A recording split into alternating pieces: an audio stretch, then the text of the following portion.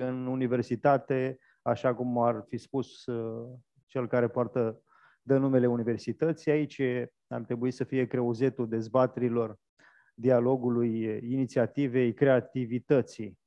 Și nu e întâmplător că în acest an, în anul Grigore Tepopa, când se împlinesc 130 de ani de la nașterea lui Grigore Tepopa, noi vorbim despre diversitate, despre niște probleme legate de hărțuirea morală și sexuală, de LGBT, de tot felul de chestiuni interesante și uh, anul acesta vom, uh, vom uh, publica o carte care în perioada comunistă, când a apărut în 1946, Viață și Societate, a lui Grigore Tepopa, în care un sfert din cartea asta vorbește despre rase și rasisme și pentru cei care ați urmărit anii trecuți Uh, fie conferințele, fie dialogurile pe care le-am purtat cu Marius Turda, uh, profesor de origine română de la Oxford, el a vorbit despre Grigore Tepopa ca unul dintre puținii intelectuali români, medici români, care s-au opus rasismului, eugeniei, față de alți intelectuali care au intrat în câmpul acesta al ideilor, precum profesorul lui Francis Kreiner sau precum un personaj negativ ca uh, Constantin Parhon, și uh, o să vă invit să urmăriți spre uh, partea a doua, a treia anului seria de volume pe care le vom publica legat de Grigore Tepopa. Am mai adus și alte cărți pe care vreau să vi le recomand.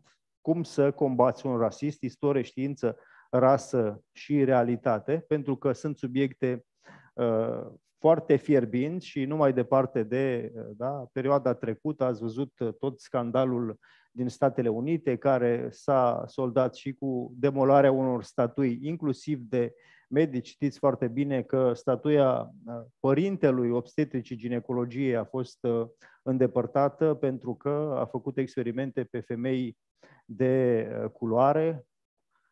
Un, um, un alt volum important al unui, și citesc aici, a fost medic, specialist în domeniul sănătății globale și un celebru formator public a fost unul dintre consilierii cei mai importanți ai UNICEF și Organizației Mondiale a Sănătății. A murit uh, recent uh, Hans Rosling, care a scris una dintre, unul dintre volumele pe care cred că ar fi bine ca în toate universitățile să se ia în discuție volumul său Factfulness, dar această carte, Cum am învățat să înțeleg lumea, memoriile sale, în care vorbește dacă tot zilele trecute s-a vorbit despre uh, o actriță care a avut curajul să vorbească despre uh, hărțuire sexuală, despre abuzuri, uh, aici, în, în această carte, el își amintește un fapt foarte delicat pe care l-a relatat. Mama s-a dus la doctor într-o după amiază târziu. A fost îngrozită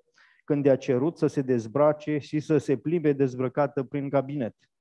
Când i-a cerut servicii sexuale în schimbul avortului, a plecat. Singura ei alternativă era să abordeze pe cineva de la locul de muncă, o persoană cunoscută, pentru că făcea avorturi ieftine. E mai lungă uh, povestea aceasta și uh, deschidem uh, acest, uh, această dezbatere care poate fi urmărită pe platforma universității, fie pe Facebook, pe Zoom și pe YouTube. Este o resursă importantă și Cred că uh, vedeți și multipli invitați din, uh, din uh, multiple unghiuri vor privi această problematică, discriminare, hărțuire, demnitate, egalitate de șanse sunt doar câteva dintre teme, pentru că sunt mai, mai multe de vorbit, dar înainte de a-i prezenta pe invitații, îl voi invita pe domnul profesor Radu Iliescu, prorector al universității, să ne adreseze un cuvânt de deschidere. Vă rog. Mulțumesc foarte mult, uh, Richard. Mulțumesc foarte mult uh, vouă organizatorilor celei de-a doua și, și a primei ediție a Săptămânii uh, Diversității. Richard, Departamentul de Comunicare al, al uh, Universității, Oana, Tudor, Ivona. Uh, vă mulțumesc foarte mult că ați avut și inițiativa și ne ajutați să facem ceea ce, din punct de vedere al Universității, ne-am propus uh, de ceva timp dar în ultima vreme chiar reușim să o facem, să coborâm din turnul de fildeș. Și uh, să exercităm una din, cred eu, misiunile cele mai importante ale universității și în mod special al Universității de Medicină și Farmacie, uh, de a se implica și de a conduce dezbaterea din uh, viața publică. Vă felicit pentru asta. Abia aștept și mă bucur că pot să particip live uh, la, la această dezbatere. Sunt convins că uh, mediul online pe care cumva am avut abilitatea de a-l utiliza foarte, foarte eficient în, în ultimii 2-3 ani, uh, ne permite să fim aproape de auditoriu, chiar dacă nu este uh, direct vizibil în sală. Încă o dată felicitări, uh, aștept cu interes restul serii și edițiile viitoare ale Săptămânii Diversității. Bravo! Mulțumim foarte mult! O să-mi permite să vă spun pe numele mic ca să fie un, un dialog mai relaxat și Uh, vorbeam despre, vorbeam cu un coleg, cu Rareș, despre o chestiune legată de liceul uh, Moisil din Iași, unde sunt uh, condiționați elevii să fie îmbrăcați într-o anumită uniformă, să poarte ciorapi albi, gri sau negri și să nu aibă tatuaje, să nu aibă ciorapi colorați, și um, era un comentariu pe Facebook că ce s-ar face în cazul acesta uh, premierul Canadei dacă s-ar intersecta cu profesorii de la Liceul Moisil.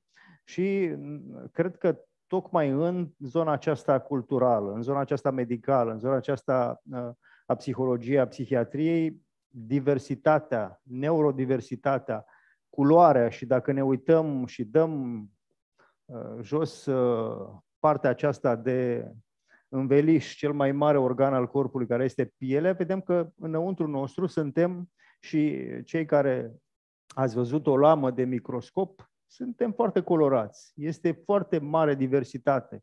Și, din păcate, ce se întâmplă cu societatea și de multe ori cu mediul acesta educațional, vrea să așeze omul în niște, în niște cutii.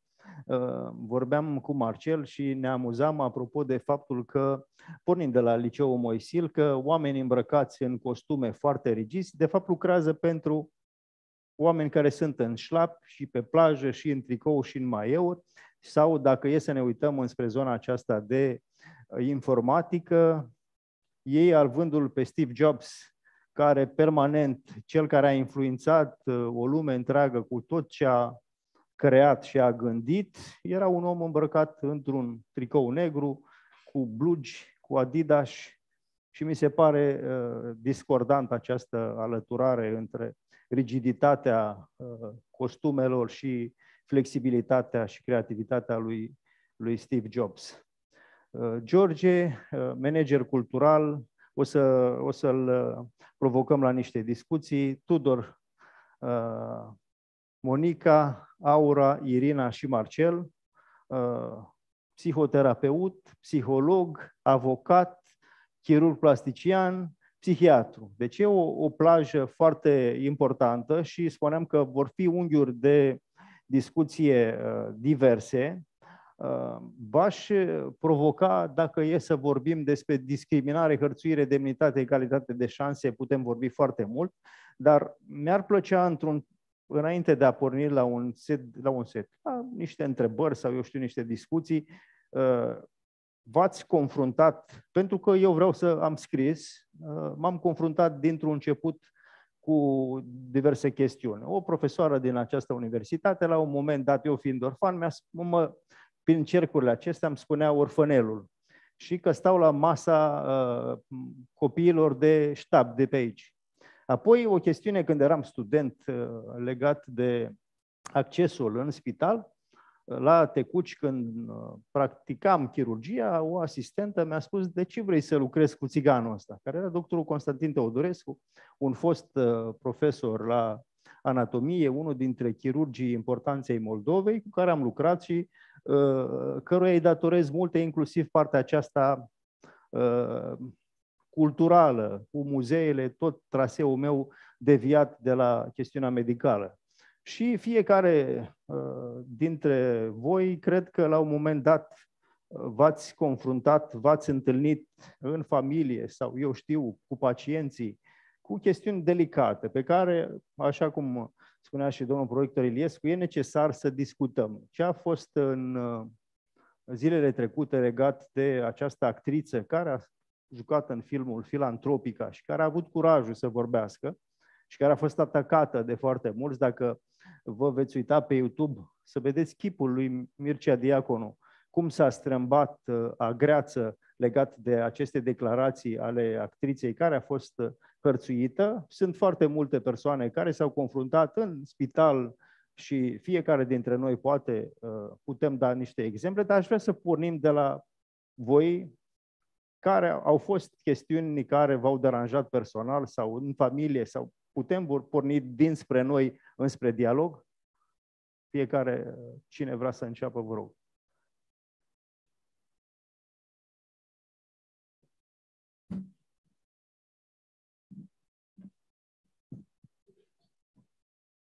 Bună ziua! Uh, foarte interesante provocările, Richard. Uh, din fericire, eu fac parte dintr-o familie în care părinții au reușit să creeze între mine și fratele meu uh, o atitudine egală și am apreciat întotdeauna lucrul ăsta. Și în afară de tumultul adolescenței din liceu, în care n-aș putea să spun că era vorba de discriminare, ci poate de un fel de bullying, cum îi spunem noi acum, uh, Cred că prima experiență a fost în anul întâi de facultate. Țin minte că văzusem eu un anunț pentru o plecare în Polonia, cu un proiect, cred că de gen Erasmus, o săptămână. Și am fost foarte entuziasmată, am văzut criteriile, am aplicat, am fost la un interviu de selecții, m-au întrebat de ce vreau să mă duc. Totul părea că merge conform așteptărilor mele, iar la finalul perioadei de selecție Uh, deși uh, după ce am terminat interviul mi-au spus că cel mai probabil sunt acceptată, că respect uh, toate criteriile, am văzut lista afișată, de, de fapt, nu. M-a contactat profesorul care era responsabil de proiectul respectiv și mi-a spus, uite, știi, din păcate nu mai poți să mergi, nu mi-a oferit neapărat o explicație, pentru că ulterior să aflu că a mers într-adevăr un coleg mai mare care era fiul unui profesor din facultate. Și evident că această experiență m-a, nu pot să spun că m-a marcat, mi-a dat într-adevăr un gust amar, dar experiența asta m-a făcut să nu renunț. Cred că, de fapt, asta contează, atitudinea pe care o avem noi în fața unor experiențe de acest gen și întotdeauna mi-am propus să fiu o persoană care, într-adevăr, să privesc lucrurile cât de clar cu putință și astfel încât când mă implic sau lucrez cu, cu alte persoane, lucrurile să fie clare de la început și să nu fie răspunsuri semi-pozitive că da, uite, poți să participi și ulterior să existe niște, uh, să zic eu, scuze sau niște situații de acest gen. Și eu am învățat timpuriu, la 18 ani, că ok, viața nu-i corectă, lumea nu-i corectă, dar asta nu înseamnă că eu trebuie să renunț. Și mă gândesc că am avut această atitudine pentru că am avut un context, să-i spun, sănătos din familie, care m-a încurajat și mi-am dat seama că nu a fost ceva în regulă cu mine, am acceptat ca să mă frustrez foarte mult și am mers uh, cumva mai departe în a-mi urma studiile și în a încerca să găsesc eu uh, uh, activități care să mă ajute să mă dezvolt foarte mult.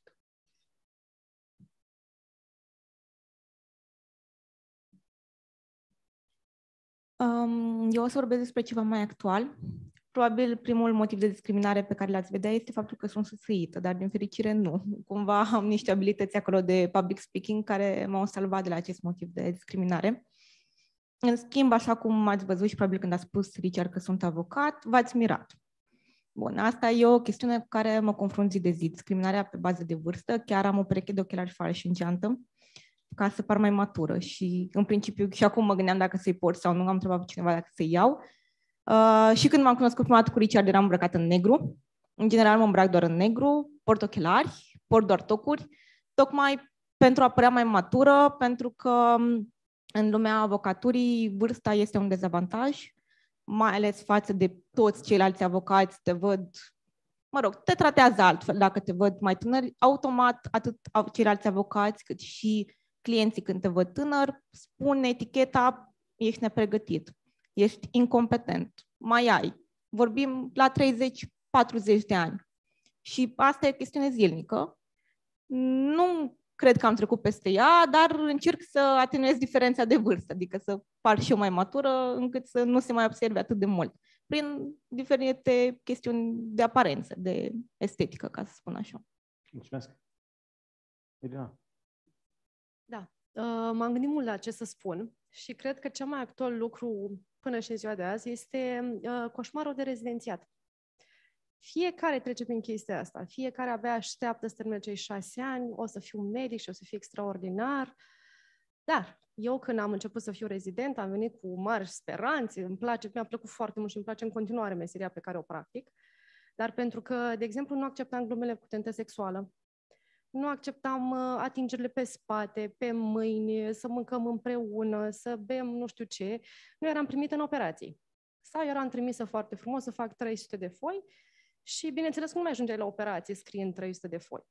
Am uh, foarte frumos și foarte elegant, eu nu accept. La mine nu este nu. Să fie foarte clar. Am schimbat frumos tabăra și mi-am ales o tabără feminină. Și atunci am mers până la final cu tabăra feminină și am învățat meserie în felul ăsta. Am învățat că sunt și oameni buni, am învățat că sunt și oameni care pot să-ți arate meseria fără să ceară nimic în schimb. Și um, un lucru care pe mine m-a marcat pozitiv a fost că am rămas în continuare prietenă cu această persoană care este medic primar și îmi face o deosebită plăcere să colaborez cu ea. În schimb, persoana, persoanele, pentru că sunt vreo două, trei masculine care au discriminat sexual, uh, în continuare privesc cu suspiciune și un salut din partea mea și se gândesc, Doamne, oare cum a ajuns aici? Uh, pentru că nu a trecut unde trebuia să treacă. Ei, nu am trecut și nu am să trec vreodată. Tot ce am obținut până în secunda asta, am obținut doar prin munca mea proprie și personală. Nu am obținut uh, pe la ușă, pe la cine romantice sau pe la oriceaiuri sau uh, hai să mergem la un congres împreună. Nu mulțumesc frumos. Lucrurile acestea se întâmplă. Studenții nu sunt conștienți de lucrurile astea, privesc cu atâta pozitivism, o să treacă aia șase ani, ăia sunt cei mai grei. Și de fiecare dată cred că studenții mei știu treaba asta, le spun, nu, nu aia sunt cei mai grei, sunt cei mai frumoși. Eu cred că mi-aș fi dorit să fie mai lungă studenția. Am fost și în străinătate studentă și mi-a plăcut extraordinar de mult. Rezidențiatul e partea cea mai grea. Pentru că acolo vei învăța cu adevărat să fii om și medic. Dacă acolo întâlnești ceva rău, s-ar putea să te marcheze într-adevăr în cariera ta medicală pentru tot restul ei sau să nu mai vrei să faci, să-ți schimbi din nou uh, specialitatea și dai din nou rezidențiatul. Pentru că vezi că ești dat la o parte și cu Tărescu pentru că este prieten cu sau pentru că a acceptat anumite lucruri sau pentru că e frumoasă și acceptă anumite lucruri, ea ajunge sus, în ochii tăi cel puțin, ajunge sus și tu nu. Deci ei trebuie să treacă pentru lucrul ăsta, să îndrăznească, să spună nu la timpul potrivit, asta e părerea mea, pentru că altfel ajungi într-o familie, nu trăznești să-i pui soțului lucrul ăsta, prietenului, iubitului. Nu poți să ai copii pentru că te gândești o să se întâmple și la copilul meu treaba asta. Uh, cred că sfatul cel mai prietenesc pe care eu însă l-am respectat e să fiu omul care mi l-am dorit eu în fața mea și pe care de foarte multe ori nu l-am avut. Și nu am să-mi doresc când am un student lângă mine să-i spun fă tu cele 15 foi că eu sunt cineva sau uh, nu știu cum. Sau carăm tu halatul. Mi se pare foarte, foarte urât. Sau cumpără mie, du-te și cumpără de la colț apă și cafea. Un medic rezident este un medic în continuare, nu este un fel de sclav plătit. Aș sublinia lucrul ăsta, lumea să înțeleagă. Știu că poate nu vă place limbajul, dar asta e realitatea și mulți o știu, sau majoritatea care sunt medici. Vă mulțumesc! Mulțumim! E aparent rândul meu. Nu, cred că îl putem folosi pe ăsta, cu siguranță. Foarte bine sistematizată drama medicului rezident.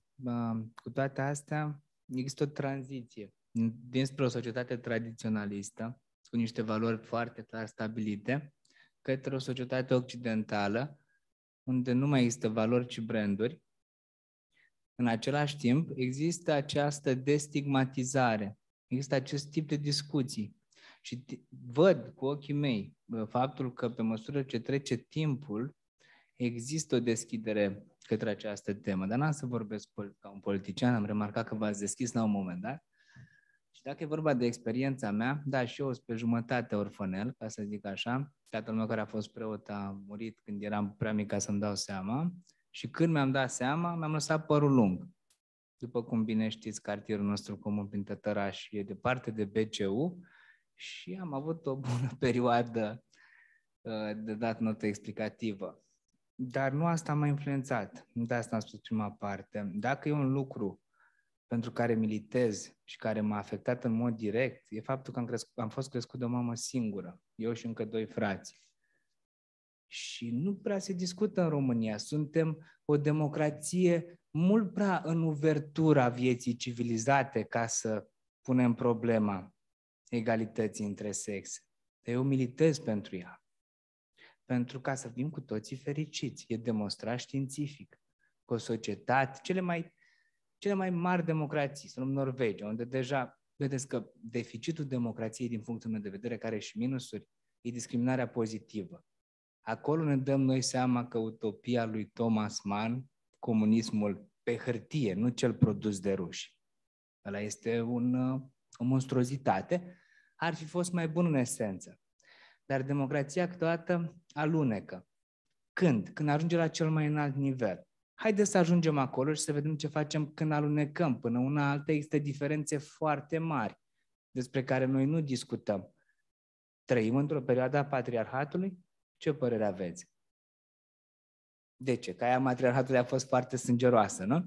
Dar, în esență, uh, studiile care s-au făcut din perspectiva științifică a medicinii bazate pe dovezi au demonstrat că statele cu cel mai înalt nivel de fericire sunt statele în care și bărbații se ocupă de treburi casnice. Sunt statele în care um, sexele sunt privite într-o perspectivă egală, li se acordă practic.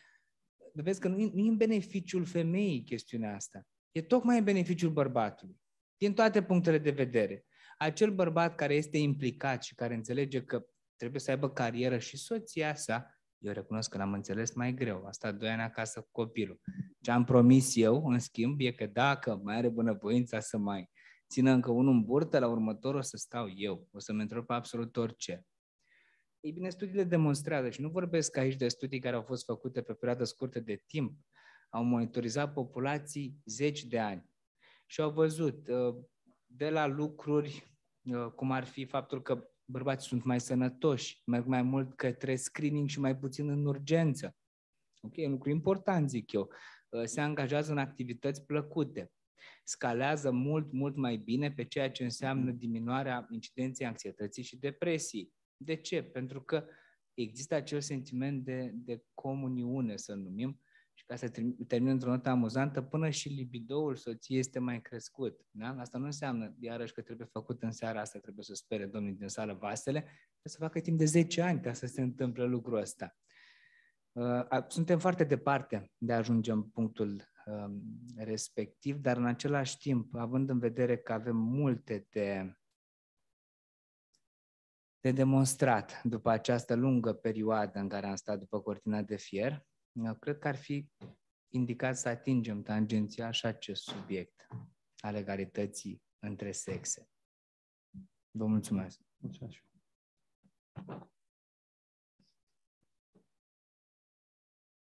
Da, să deschid.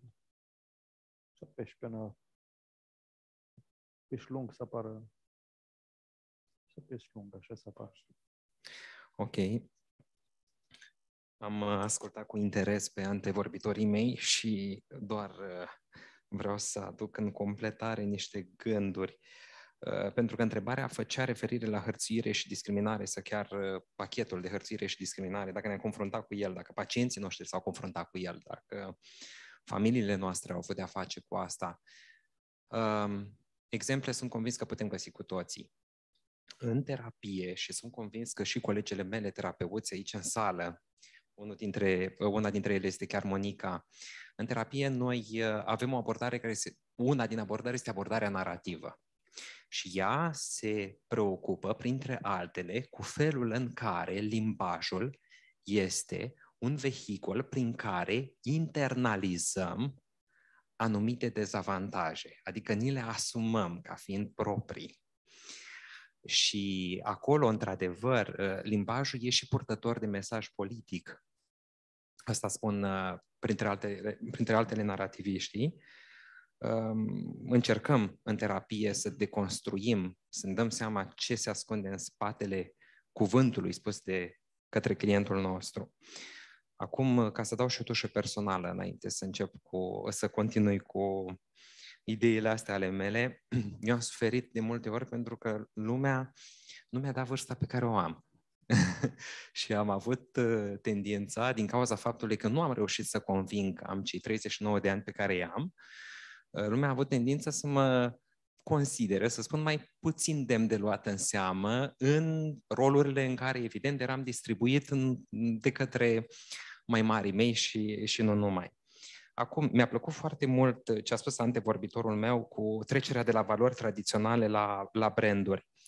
Și pe mine mă bântuie Engelhardt în ultima vreme, în special etica lui laică, uh, pentru că cea ortodoxă e o altă discuție foarte, foarte faină și ea.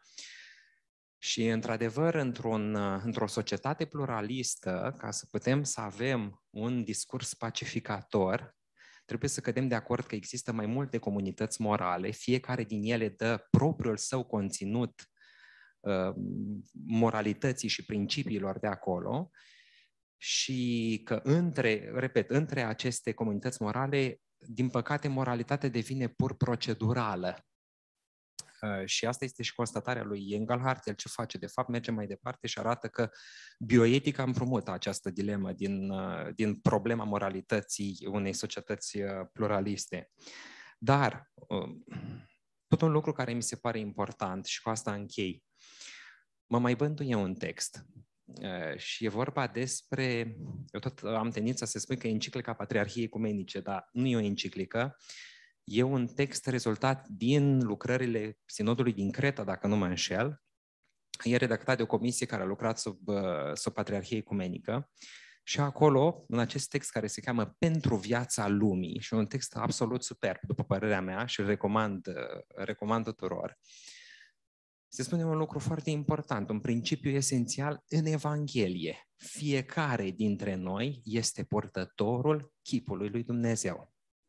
Și prin urmare, dacă vrem o atitudine profund creștină, trebuie să înțelegem, apropo de discriminare, hărțuire și așa mai departe, că indiferent de rasa celuilalt, de sexul celuilalt, de poziția sa socială, de faptul că are sau nu pe ambii părinți, de faptul că are sau nu o orientare heterosexuală, el este purtătorul chipului lui Dumnezeu și în virtutea acestui chip el este demn de respect. Apropo de demnitate, uh, recomand textul.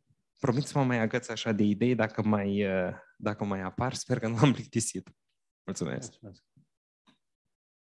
Da, uh, bună ziua. Am ascultat și eu cu atenție uh, ce au spus uh, antevorbitorii și m-am dat seama că, cu excepția doamnei doctor care a făcut o mărturisire uh, destul de, de puternică și care arată un tip de uh, hărțuire la care uh, dintre noi cei uh, de aici, din fața dumneavoastră, uh, mă rog, am fost supuși, că eu mă gândeam ce exemplu să dau, că apropo de uh, liceul Moisil, eu am terminat Negruția, acolo cu uniforma e din uh, e, din, uh, e de, de mult, de la 1895, de când a fost făcut uh, liceul ca liceu model și, uh, într-adevăr, în, sau în preadolescență nu înțelegeam de ce trebuia să port uniformă, de ce trebuia să mă tund. Apropo de discriminare, a fost trimis acasă că aveam părul lung, a fost trimis să mă tund, dar asta sunt niște lucruri uh, foarte, mm, cum să spun, light, foarte ușoare, în comparație cu alte tipuri de, de discriminare la care sunt uh,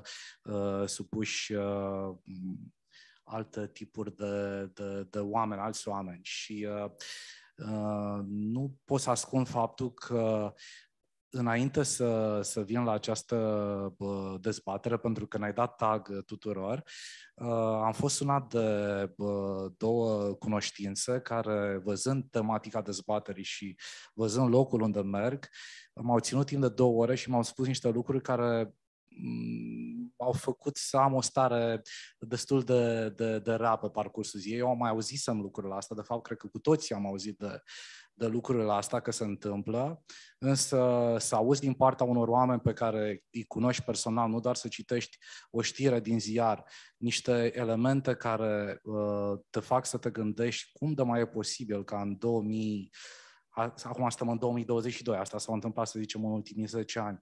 Uh, societatea în care trăim să genereze, mai ales într-o unitate de elită, într-o instituție de elită, să, să uh, tolereze genul ăsta de comportament, e, e ceva care nu are cum să nu te revolte. Pentru că, uh, și aici fac uh, poate o paralelă cu ceea ce se întâmplă în Ucraina. Uh, în momentul în care uh, se aduce în discuție faptul că sunt victime acolo care suferă în urma ororilor războiului, care nu sunt uh, suferite numai de către combatanții direcți, ci și de către victime inocente, să le zicem acele victime colaterale. Mulți spun ok, dar asta e departe de noi, la câteva sute de kilometri, noi nu suntem implicați. Dar dacă noi uh, păstrăm tăcerea asupra unor uh, lucruri de genul ăsta, nu facem altceva decât să uh, încurajăm și să oferim o oarecare senzație de impunitate pentru cei care Uh, uh, proliferează genul ăsta de, de comportament.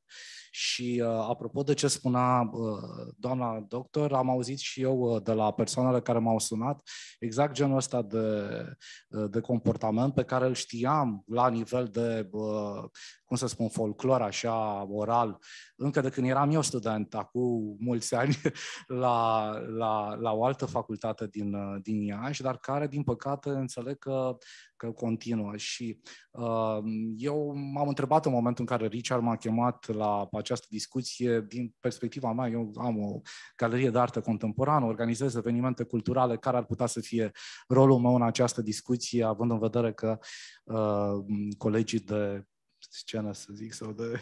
Uh, sunt uh, mai mult sau mai puțin legați de, de, de, de medicină, de uh, psihologie. Și am zis că voi veni cu uh, niște perspective, uh, modul în care arta contemporană și arta în general uh, tratează uh, genul acesta de uh, probleme care apar în societate, de la discriminare, hărțuire, etc. Am să vin cu exemple de la Bienală, dar, sincer, încă sunt sub uh, imperiul uh, acestor povestiri pe care le-am auzit și cred că uh, ce ar fi important, adică n-am cum să, n-aș avea cum în fața conștiinței mele să vin în, într-un, uh, în această uh, instituție și să nu încerc să deschid subiectul legat de abuzurile, de tipul de hărțuire care se întâmplă de ani de zile în această instituție. Și repet, la care oameni pe care îi cunosc și pe care îi prețuiesc mi-au, uh, mi-au adus mărturii și care au spus că dacă va fi nevoie, chiar vor putea să uh, susțină aceste mărturii și uh, uh, în, nume, în nume propriu. Și mi se pare important ca să existe o uh, încercare de a coaliza energiile care generează inclusiv astfel de dezbateri pentru care uh, vreau să te felicit, uh, Richard, să uh, creeze o, o, o stare, o, o mișcare, poate un mitu uh, al UMF-ului care să lovească în inima, nu i spune doar a patriarhatului, dar a unui sistem uh, prin care niște oameni cred că sunt deasupra legilor și deasupra uh, legilor, nu știu, uh, uh, pe care doamna avocat le, le discută, dar și asupra unor legi care țin de morală, de etică, de și să ne gândim, așa cum atunci când ne gândim în Ucraina, suntem mai aproape, la Ucraina, suntem mai aproape de oamenii care ajung în ea și cu care poate unii dintre noi am interacționat cu, cu acești refugiați, să ne gândim că poveștile pe care le auzim despre ceea ce se întâmplă aici se întâmplă uh, unei persoane din familia unui surori, unei uh, fiice, unei uh, verișoare și atunci probabil am avea o altă uh, capacitate de a, de a adresa această problemă. Mă scuzați că uh, m-am lungit puțin, dar uh, mi se pare uh, că am putea cumva să ieșim din. Uh, uh, să, să, să realizăm, în primul rând, că, că suntem privilegiați, că nu am fost cu adevărat discriminați și să putem să discutăm cu adevărat de, de niște subiecte care, din păcate și probabil cei dintre dumneavoastră care fac terapie sau uh, ajung să se confrunte cu, uh, cu, cu astfel de povești și din uh, perspectivă profesională, știu că viețile unor oameni au fost distruse, oameni, sănătatea lor au fost, a fost distrusă de, de astfel de lucruri care se întâmplă. Ok. Mi-aduc aminte că în urmă cu vreo 10 ani vorbeam cu o doamnă care reprezintă acum o companie de evenimente medicale care muncise foarte mult să ajungă student la medicină la București, să ajungă medic rezident pe specialitate chirurgicală și s-a trezit la un moment dat înghesuită într-un, într-un colț de încăpere de șeful clinicii. Și cred că e singura persoană pe care o știu eu care i-a ars două palme profesorului și a dat demisia și din rezidențiat. S-a dus și uh, a făcut foamea foarte mult, a făcut jurnalist și după multă vreme și-a construit o carieră în zona aceasta a evenimentelor medicale. O și cunoașteți dacă uh, vreți vă spun la final despre cine e vorba, dar nu asta e important. Important este uh, de ce tăcem, de ce, cum să spun, pentru că sunt aici oameni din zona psihiatriei, psihoterapiei, Uh, coachingului au fost și ieri pe aici.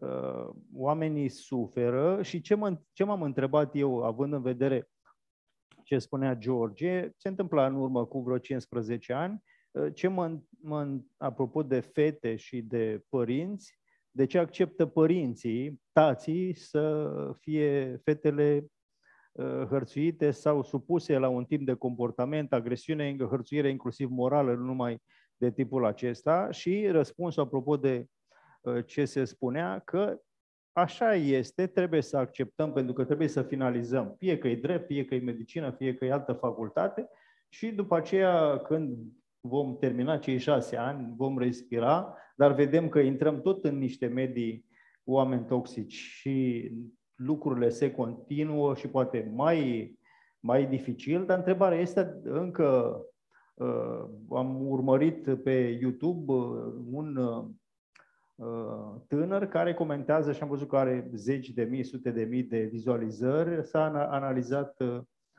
acea ieșire publică a acestei actrițe și se întreba dacă ar fi fost făcută în urmă cu 10 ani această declarație a Vioricăi Vot, ar fi fost mâncată la propriu Uh, pentru că inclusiv statului american, care e un stat despre, la, despre care noi ne uităm și dacă e să ne uităm doar pe cartea aceasta, cum să combați un rasist și să vedem ce s-a întâmplat în ultimii ani în Statele Unite, nu-i tocmai lejer discursul și n-a fost foarte ușor, inclusiv pentru femeile care au ieșit și au recunoscut public, dar pe în România Uh, dacă e să vorbim, nu știu la ce exemple se referea uh, George, dar din păcate unul dintre exemplele din universitatea noastră a ajuns într-un film, Diminețile unui pier de vară, vedeți, dacă vedeți, e un exemplu uh, dinspre uh, anatomie, din păcate, în care s-a preluat în discursul uh, filmului românesc un exemplu uh, negativ, care din fericire a fost uh, îndepărtat din structurile universității și e un proces de curățare și sperăm și morală, cu ajutorul eticii, psihologiei, uh, eu știu, celorlalte persoane care în ultima vreme încearcă să limpezească lucrurile și să facă un pic uh, lucruri, să spun, să, să le aducă un pic la dimensiunea morală a lui Grigore Tepopa, că nu-i degeaba acea statuie Uh, cu toate că nu-l reprezintă, dar asta e altceva. Nu-i degeaba că e prezentat doar capul, doar zona aceasta, da, să e cu capul în nord, da, în capul în nord, dar în fel în norii aceștia ai, ai moralității, ai verticalității, pentru că am spus mereu că dacă e un lucru care s-a întâmplat pozitiv și foarte pozitiv la UMF Iași, este că în 92 deja sunt câți? 30 de ani, nu? s-a dat numele și nu s-a dat numele unui impostor ca Vasile Rășcanu, că așa a fost o dezbatere, apropo de dezbatere, între două grupuri de foști și oameni care vedeau diferit, Vasile Rășcanu și Grigore Tepopa. Ei și-a câștigat Grigore Tepopa. Cum, mă întreb, cum am fi vorbit să se fi chemat Universitatea de Medicină și Farmacie Vasile Rășcanu? Un impostor, un personaj uh, sinistru, în fine. De ce se tace în general în societatea românească? Marcel. Păi v-aș putea spune eu de ce se tace. Ați atins de ce se tace în familie? Adică nu e vorba doar da, acum vorbim de la mic la mare. Ok, haideți să încep să punctez niște lucruri. Am vorbit despre discriminarea mamei mele, dar nu v-am spus în ce fel s-a întâmplat. Și ea era tot o luptătoare, numai că nu în momentul potrivit. În 90 încă era mai dificil să fii, uh, stai dreptul ca și femeie și pentru asta a fost dat afară de pe un post de medic de recuperare în Pașcani, după care a urmat în jur de 15 ani de sărăcie, până când a ales să se încadreze ca profesoară de religie, pentru că avea a doua facultate. Am mai profesat vreo trei ani înainte de pensie, dar ați atins tangențial uh, un aspect legat de anatomie. Eu am fost acolo, eu am vorbit, eu am pierdut un an atunci. Mie mi s-a spus foarte clar, așa, închideți ușa, închideți ușa, mai degrabă. Uh, eu am crezut că, na, ca de obicei, nu trebuie să, să te lași călcat, mai ales că eu chiar aveam o tangență cu acea șefă de serie, care chiar era frumoasă și era și inteligentă și uh, nu era foarte cald, dar să spunem că în perioada respectivă în anatomie se venea doar în halat, dacă stăteai pe scenă. Și au fost puse niște lucruri, eu am glumit, toată lumea a râs, a râs și cine trebuia, dar abia undeva prin iarnă eu am înțeles că am absent la toate LP-urile, deși m-am prezentat. Și până la urmă, cineva mi-a spus că, măi, tu ești un băiat bun, tu ești la teologie, ești la bursă acolo. Aici nu mai ai cum să mai termini. Nu vrei să te duci în altă parte, te la Cluj, te la București. N-am crezut, dar așa a fost. Și atunci din decembrie am un an sabatic, care după aia s-a dovedit să fie cu un semestru echivalat, pentru ca să vezi, s-au făcut lucruri. Nu am fost singurul care a avut ceva de spus. Și pentru lucrul ăsta eu nu pot decât să apreciez acest loc, care nu numai că coboară din turnul de filde, și a face niște progrese enorme. Am stat și m-am gândit cu ce se întâmplă în Ucraina. Eu nu neapărat că sunt un laș, sunt și eu un fel de luptător niciodată n-am dat înapoi în artele marțiale pe care le fac de vreo 11 ani, chiar dacă am luat bătaie, am luat bătaie în față. Dar cu siguranță n-aș face față într-un, într-o luptă deschisă. În schimb, dacă e un lucru pentru care aș sta aici, e tocmai universitatea. De ce? Pentru că noroc că am pierdut acel an și noroc că s-au schimbat lucrurile, pentru că în următorul an mi-am cunoscut soția. Cea mai frumoasă fată din serie s-a îndrăgostit de mine și uite-mă ea, unde am ajuns acum. Eu nu aș vrea sau nu m-aș putea ierta dacă undeva în Canada sau în Australia, peste 30 de ani, aș vedea că sunt pui staliniști pe aici care au distrus toate aceste lucruri. Eu cel puțin aș putea să trăiesc cu mine. Și ceea ce ați spus cu referire la privilegiați e un lucru pe care doar cei privilegiați îl văd. Spre exemplu, când o persoană albă se uită în oglindă, Vede o persoană albă, dar o persoană neagră poate să înțeleagă rasismul și să-l perceapă. Când există privilegiu, nu există milă. Și tocmai discutând despre aceste nuanțe ale stigmei, cred eu că facem pași incredibil de importanți.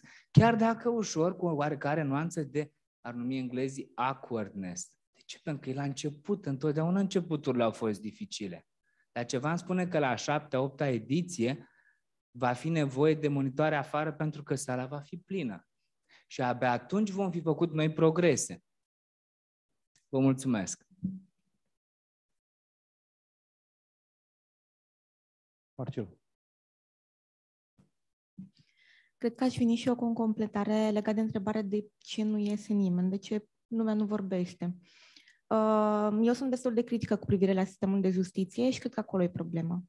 Pentru că dacă noi avem, am avea încredere că mă duc și depun o plângere, sau mă duc la superior din nou, depun o plângere, sau mă duc pe litigiul în muncii, pe daune morale, pe hărțuire morală la locul de muncă, dacă eu aș ști că se rezolvă problema și de preferat rapid, adică nu depun acum o plângere sau o cerere de chemare în judecat și durează 2 ani cât am litigiu și rămân în același mediu, atunci aș avea încredere să ies.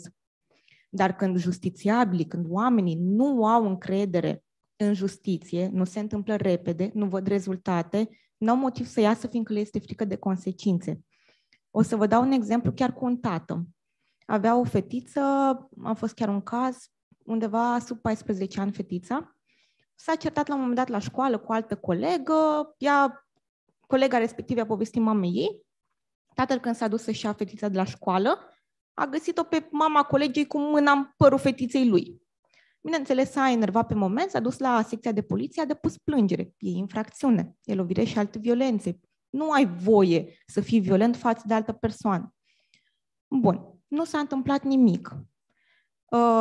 În alt, după câteva luni, fetița s-a așezat, mânca o înghețată, nu știu cum, pe o băncuță în zona gării, o zonă destul de circulată.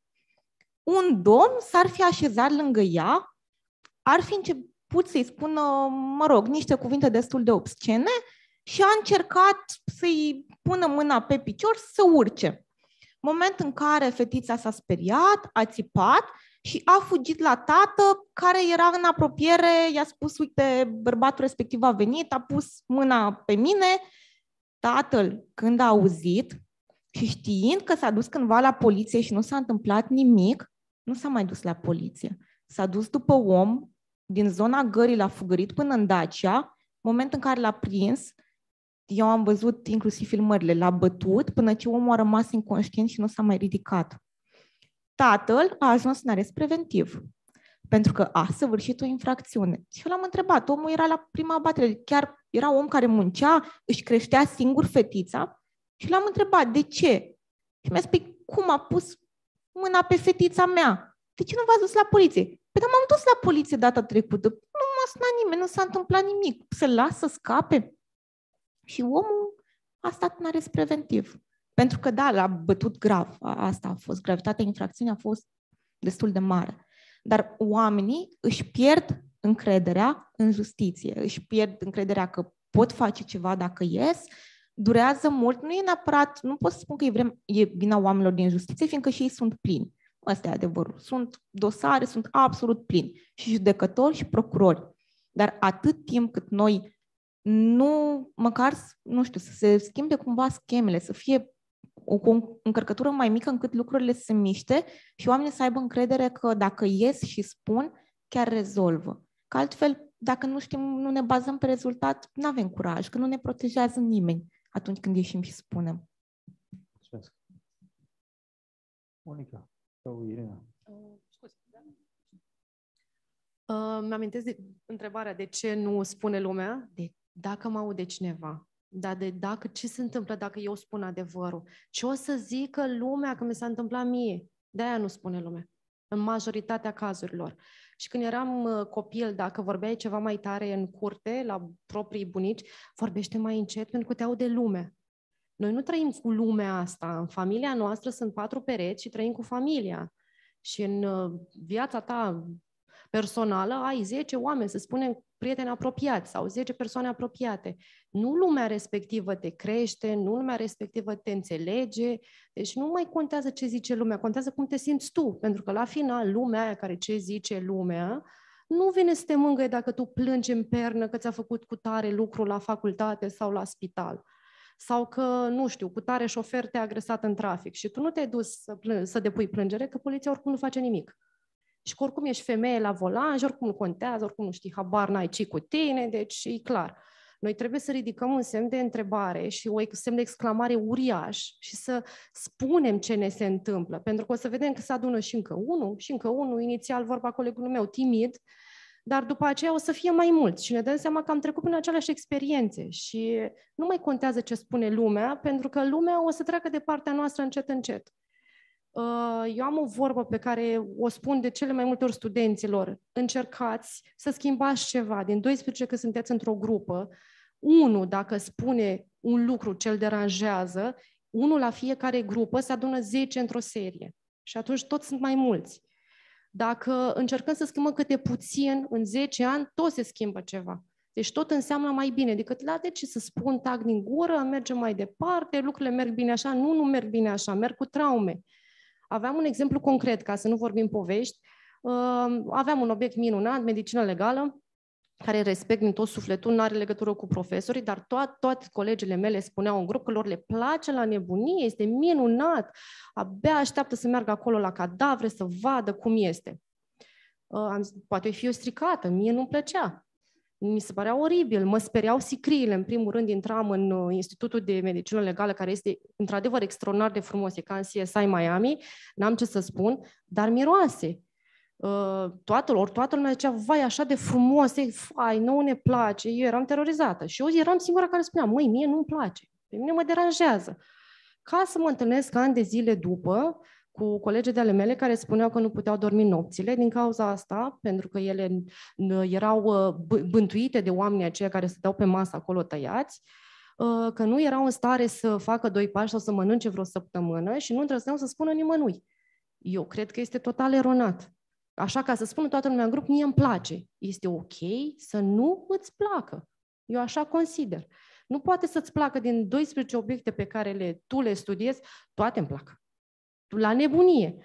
De ce să mințim atât de mult? Spunem adevărul. Nu, domnule, mie îmi plac 5 sau îmi plac 3 din el. Este foarte în regulă. Acelea 3 o să-ți ghideze drumul în viață mai departe ca om și ca medic. Și la acelea să fii foarte bun. Nu poți fi bun la toate, cum este boala românului. Noi suntem buni la toate. Nu există. Pentru că atunci nu face nimic bun.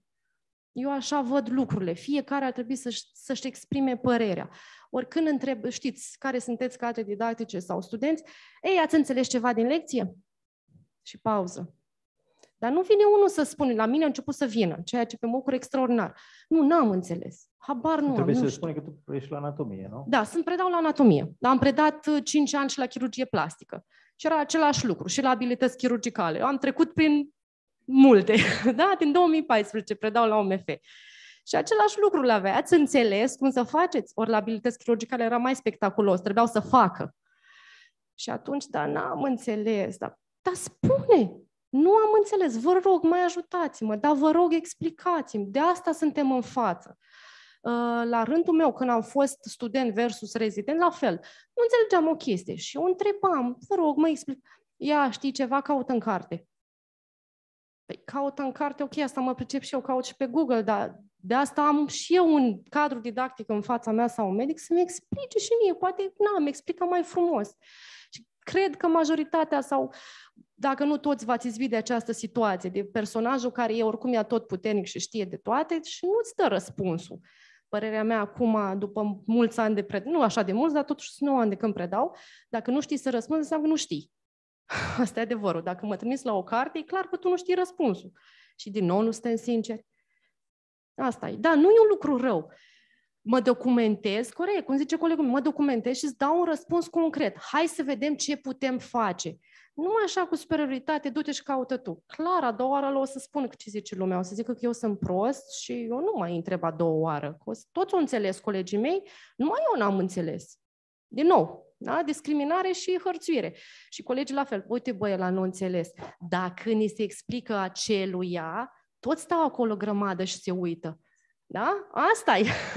Că s-a ridicat unul, s-a sacrificat unul și atunci când s-a sacrificat acela, gata, toți beneficiază de, de avantaje. Dacă ar face fiecare, bine ar mai fi. Eu le sugerez de fiecare dată, faceți o listă. Ce n-ați înțeles? Că într-un final, tot citiți voi anatomia aia. Nu o să o înțelegeți acum în anul 1-2, dar o să vedeți că o să vă trebuiască că am fost și eu ca voi. Și nici și eu consideram că, mamă, n-am să o învăț în veșăpururi. Dar uh, am nevoie de ea. Eu, în calitate de chirurg, am nevoie de ea zilnic. Și clar că mi-amintesc de profesorul meu de anatomie, care, culmea, i-am și acum, în calitate de colegi, sunt, m-au învățat de bine pe atunci. Și chiar am avut parte de o doamnă extraordinară. Domnul care era și el avea o anumită tentă din acea, din acea categorie, a plecat, nu mai este. Uh, cum le zice studenților, nu a murit, pur și simplu nu mai este.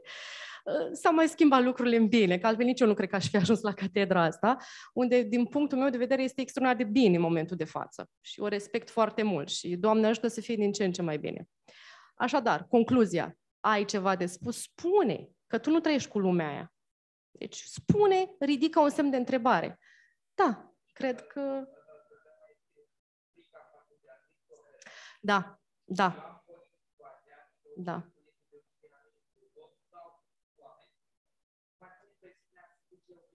Da.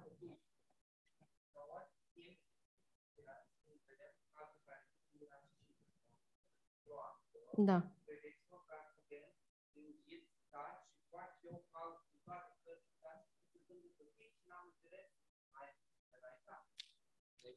Da, da, da, da, așa este, așa e. Da. Da. Da, da, într-adevăr. Aici trebuie schimbat ceva la cadrele didactice mai în vârstă, pentru că generația tânără uh, a schimbat ceva mai mult. Uh, pentru că domnul Radu Iliescu este aici. La un moment dat, la o comisie, uh, uite, vă spun un caz concret. Uh, mi s-a spus, nu te înscrie acolo, din nou, apropo de că oricum nu e, acolo e pe pile, pe chestii. Era un proiect european, post-drup în 2014, eu eram doctorant. Eu n-am băgat în seamă ce zice lumea, că eu în general nu bag, eu cred în mine uh, și m-am înscris. Și a fost interviul, era și domnul profesor, am luat interviul, m-au întrebat tot felul de lucruri frumoase, am terminat și proiectul european și am demonstrat că pot lua. Nu mai iau după gura lumii, nu te înscrii că e pe pile. Nu, n-aveam nicio pilă, habar n-aveam pe nimeni de acolo. Uh, culmea, profesor răi, mai era și un alt uh, domn uh, chirurg, uh, profesorul Dimofte pe care l-am avut coordonator la momentul respectiv. Nu, nu a fost rău niciunul dintre ei cu mine și le mulțumesc foarte mult pentru ceea ce au făcut la, la momentul respectiv. Proiectul acela m-a ajutat să-mi termin doctoratul. Deci, un astfel de, o astfel de îndrumare nu te duc, oricum știu eu că e pe pile, cunosc eu. De unde cunoașteți voi atât de multe lucruri? Adică, de unde? De la BZI, Cancan? Deci nu mi se pare ok. Și o grămadă care nu se înscriu. Și de multe ori rămân locuri libere. Asta se știe, pentru că de ce? Da, dar nu s-au înscris, că dacă sigur sunt luate. Eu nu am ajuns pe niciun fel de pilă și am ajuns și la burse de astea, la Erasmus, la fel, fără nicio legătură cu cineva. Nu am avut nicio treabă. Am ales ce era de ales, mi-a și prelungit, a fost extraordinar. O experiență în care, apropo de rasism, am întâlnit cazul, știu, eu sunt albă și norocul meu că sunt albă, am fost în Polonia, uh, chipurile semănam cu polonezele, ceea ce mi era ok. De ce? Eu acolo am văzut ce înseamnă rasismul cu adevărat într-o țară apropiată de noi. Dacă erai asiatic, dacă erai negru, dacă erai hispanic, erai bătut în centru. Dacă îndrăzneai să vorbești o limbă pe care ei nu o cunosc, la fel erai bătut. Ei mi-au explicat prima oară în viață, dar știți că este whiteheads și blackheads și nu, la ce vă referiți? Păi cum, partidele alea naziste? Nu, eu vin dintr-o țară în care nu știu dacă este așa ceva ori da, într-adevăr existau oameni care discriminau la modul acela și am avut colegi din Asia care au fost bătuți, noi locuiam în centru, în punctul zero, uh, și au fost bătuți în acel pasaj. Iar eu, pentru că treceam în calitate de poloneză, nimeni nu se lua pe stradă de mine și culmea, dacă spuneam că nu vorbesc poloneza, știa să spun, e muvie popolscu, asta înseamnă nu vorbesc poloneza. A, nu e adevărat, tu știi, dar tu de fapt nu vrei să ne zici. Deci, ca să vedeți ce înseamnă discriminare, vieții oameni chiar sufereau. Și de asta înțeleg și pe studenții străini. Aici sunt teribil de discriminație în România. Adică dacă deja vine din lumea arabă, ce se întâmplă? A, e arab, oricum nu știi nimic. E sigur varză. Nu e așa. Sunt colegi arabi care vin din lumea arabă, da? Adică este mare țările acestea, care învață de rup. I-am, sunt unii care dau meditații I-am avut studenți până anul 1-2 și ei săraci sunt câte doi într-o mare de 50, cum să răzbească ei? Ei vin la mine și spun, dar știți că noi chiar am învățat și uite, domn profesor nu ne-a băgat în seamă și nu ne-a dat, nu dat în notă mică. Da, pentru că la fel îți luați la grămadă. Știi ce nu îndrăznesc să spună? Apropo de ce ziceai tu. Nu îndrăznesc să spună, pentru că nu, nu sunt băgați în seamă. Deci, da vorba a englezului, raise awareness, pentru că ar trebui un semn de exclamare și fiecare să spună ce are de spus. Nu le-o fi convenit celor care sunt mai mari, dar o să le treacă într-un final. Eu așa zic. Toate trec. O secundă, Marcel, ca să... Cu unii dintre voi mă cunosc, ne-am mai întâlnit în diverse...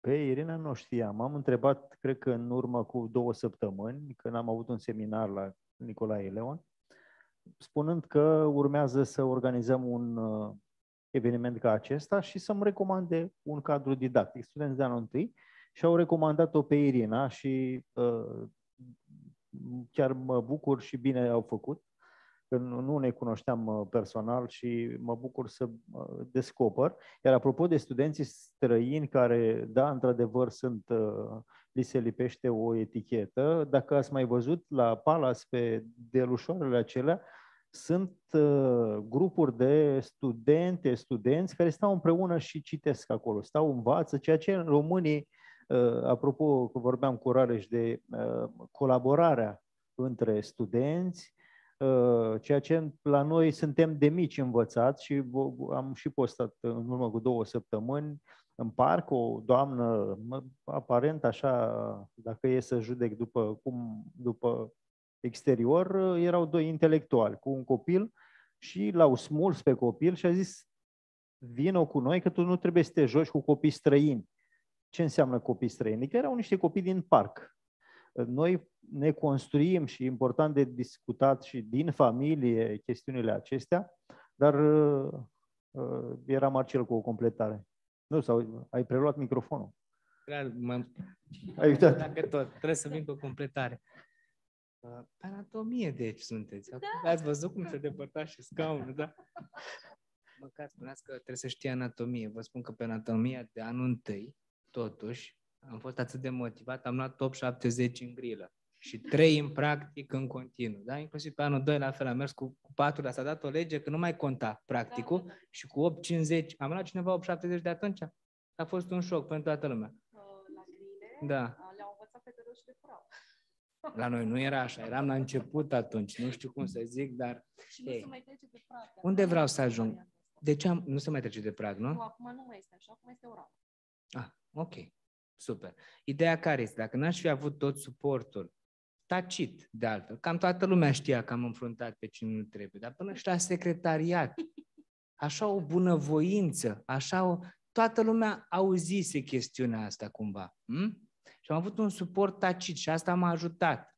Eu inițial, n-am vrut să discut despre asta, vă dați seama ce vreau să spun e tocmai despre studenți, că îi prind la psihiatrie în anul 6 sau în ultimul an de dentară și încerc să le ofer suportul ăsta, încerc să conving un medic stomatolog că el nu este dințolog, că el este medic în primul rând și că din toate specialitățile astea un singur om poate să-mi pună mie mâna în gură. Și ăla e stomatologul meu, e foarte important.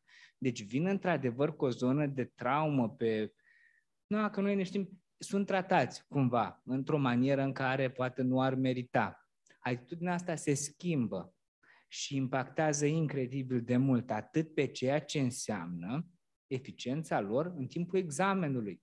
Uh, cumva vor să demonstreze că au înțeles, reușesc, nu poți să introduci noțiuni în capul nimănui, să fie foarte clar. Tot ce poți să faci e să dai niște direcții. Dar consider că zona asta de dezvoltare personală, inclusiv pe cei de la medicină, unde recunosc că mai bine de jumătate de oră din stagiu e legat de dezvoltarea personală, pregătirea pentru rezidențiat, pentru că aia e principala lor bubă și toți au multe dintre tulburările pe care le prezint, deci nu e ca la infecțioase, ei chiar simt că le suferă, numai că e în context de stres. Și atunci ar trebui să, să ne adaptăm destul de... Nu vă spun, da? Deci mulți dintre ei vin clar după tratament, țintiți pentru că ei au citit și știu. Nu e chiar așa, e vorba de stresul respectiv, dar nu avem încă stabilit, nu avem organisme la care să ne adresăm în acest sens. Suntem undeva la mijloc. De asta am spus tranziția dinspre tradiționalism către. Pentru că dacă ar fi să dau exemplu, o societate tradițională, s-a întâmplat treaba asta prin undeva prin, cum îi zic ăștia, prin Siberia, da? prin Rusia, în care un prieten a violat pe fetița tatălui, iar, pardon, pe, pe o fetiță, iar tatăl, care era prieten, a găsit în telefon pozele, s-a dus, a pus să-și pe groapa și din întâmplare a scăpat un cuțit așa de clară. A fost iertat de poliție ok, nu aș vrea să trăiesc în niciun caz acolo. Dar, pe de altă parte, în societate foarte civilizată, cum a fost uh, cazul din Franța, în care un tată a avut fiul violat și bătut până când a fost omorât de către un alt concetățean, ei bine, după sentință, el a fugit în Germania. Ce a făcut tatăl după vreo 10 ani? A trimis o echipă să-l răpească și să-l arunce pe scările tribunalului de unde a fost încarcerat? Îs diametral opus aceste cazuri. Și eu cred că noi încă suntem undeva la mijloc, încă avem capacitatea să preîntâmpinăm idioțenia din Franța. Era Uniunea Europeană pe vremea aia, da? Cum e posibil așa ceva, apropo de drept internațional? El știa exact unde stă în Germania, da? Deci avea omul casă, tot ok, doar că nu putea fi pedepsit. Dar nici bineînțeles, să ne întoarcem la niște valori care cred eu că prin 85, dacă pățea chestia aia și venea sectoristul, zicea ce a făcut? lasă că îl luăm și noi o tură, da? Nici într-o direcție, nici în cealaltă. Iar tocmai persoanele acestea vulnerabile au nevoie de, de cât mai mult suport. Eu n-am auzit, în schimb, Doamne, să fie sau să aducă în discuție discuții feministe, așa cum se întâmplă peste tot, într-un fel foarte agresiv. În România nu se întâmplă. Uh, fiecare cu crucea lui, cum s-ar spune, da? De ce nu se întâmplă lucrul ăsta? De frică? Nu cred. Eu cred că este vorba de o raportare la o normalitate falsă. Și tocmai dacă se pot face pași în această direcție, principalii beneficiari am fi tot noi, bărbații. Și vă spun de ce. Eu prefer ca femeia să aibă cât mai multe responsabilități și să fie în societate egal, pentru că am trăit și cazuri în care am un bun prieten într-un accident de mașină, da, și el și unul dintre copii a rămas soția, care era casnica perfectă, ultra suportivă. Vă puteți imagina nivelul de handicap? Eu n-aș fi bine în cealaltă lume să văd asta. Trebuie să ne dorim ca femeile să fie luptătoare, să-și asume poziții cât mai înalte, pentru simplu fapt de a ne adapta, uh, cum să le numim, acele, acelor statistici care fac statele fericite. Să vă mai zic un lucru și cu asta chiar uh, închei. Vorbim de statistică, dar nu este, e ceva șocant. Um, s-a făcut uh, statistica europeană pe depresie. Știți pe ce loc este România? Nu. Ghiciți. Ultimul. Și m-am întrebat de ce. Păi există un termen, se numește alexitimie sau analfabetism emoțional. Nu? Dacă eu nu știu să citesc un anunț în care spune atenție la tren, eu nu o să văd trenul. Eu o să simt nevoia că trebuie să beau ceva, în niciun caz că sunt depresiv. Deci cum asociez simptom? A, deci trebuie să beau ceva. Nu că sunt trist sau că nu pot să dorm sau face sens. Acesta este nivelul și cam asta e nivelul de conștientizare. De asta e foarte important ce se întâmplă aici. Dar nu vreau să monopolizez. Foarte multe gânduri am, dar încerc să fiu concentrată și m-aș întoarce la ce a ridicat colegul nostru student, pentru că unul din rolurile mele profesionale... Trebuie e... să spunem că nu, tu ești psiholog la... Da, în cadrul serviciului de consiliere al universității noastre și împreună cu colega mea, Corina Dondaș, noi practic auzim foarte multe povești. Și mă gândeam uh, la ce întreba colegul nostru student și gândurile mele erau îndreptate înspre ok, dar noi ca studenți cum întrebăm și raportat la ce spunea Tudor, cum internalizăm o reacție. Că acum, până la urmă, și cadrele didactice sunt tot oameni care au zile mai bune și mai puțin bune, care ies din gărzi, care au, mă rog, viețile lor personale. Și pentru că așa e gândirea mea profesională, a vedea cauze, efect și ce putem noi face, cred că asta le recomand și studenților. Bun, e adevărat, dacă spui numai tu, pare că nu e ok și că, într-adevăr, ești tu cel nemulțumit din, tot, din toată grupa, din toată seria. În schimb, dacă puțin câte puțin ar mai începe să mai comunice și foarte important să învețe cum. Mi se întâmplă foarte des să interacționez cu tineri care nu știu ce anume cer. Nu știu ce comunică. Iar un alt mesaj al meu este, ok, clarifică-ți tu, într-adevăr, de ce nu spunem din frică, asta e clar. Pentru noi, cei care lucrăm cu ei, știm asta. Și pentru că, așa cum spunea colega noastră avocat, pentru că nu se rezolvă nimic. Și atunci, plus că ei aud din folclorul studențesc, de la an la an, acele uh, situații problematice, pe uh, care îi uh, stresează de la începutul anului întâi. Deci noi în consiliere avem studenți începând cu luna octombrie, după două săptămâni, panicați cu ce fac ei în sesiunea din ianuarie. Și noi suntem ok, dar stai un pic, du-te, vezi cadrul didactic, învață, vezi ce e dificil, uh, uh, mergi la consultații, pentru că orice cadru didactic are și ore de consultații, întreabă, descurcă-te și vedem după aia situația. Adică uh, e foarte important și ei să învețe cum, unde, într-adevăr, și știu că, da, ok, ei vin înspre noi ca și consilieri, noi mergem mai departe și superiorii noștri știu asta. Au fost situații care chiar s-au rezolvat uh, îmbucurător și chiar mă gândeam, sper că, deși nu sunt foarte mulți studenți în sală, măcar să se uite la înregistrare. Sau poate tu ai să te duci mâine și ai să zici, păi, uh, ia ne uităm noi împreună să vedem prin ce au trecut oamenii ăștia și uite că au reușit. Și că da, mergem să spunem, dar știm și cum și când și unde și ne asumăm și responsabilitate. Pentru că, până la urmă, așa cum spunea și doamna doctor, dacă ești bun, dacă tu te pregătești, dacă muncești, cu siguranță ai să reușești chiar dacă ai nevoie să treci prin niște situații dificile pe care evident că noi nu ni le dorim. Dar până la urmă viața ne pregătește, nu? noi vorbim psihologii despre această reziliență psihologic, de a depăși și a trece prin situații dificile fără prea multe consecințe și să ajungem apoi la Marcel, la niște consultați. Uh, și cumva mesajul meu înspre tinerii cu care eu lucrez, într-adevăr, ăsta este. Ok, veniți, spuneți, conceptualizăm, ne gândim ce se întâmplă acolo, ce ține de mine, ce ține din zona cadrului didactic a universității, a lipsii de materiale și la ce plângeri mai au ei și încercăm, într-adevăr, să găsim o soluție. De asemenea, mă mai gândeam, ca psiholog normal, trăsăturile de personalitate ne diferențiază. Unii suntem așa mai luptători și mergem, punem degetul pe ei, spunem, vedem, ne asumăm. Și alții, într-adevăr, sunt mai timizi, mai retras și au această frică.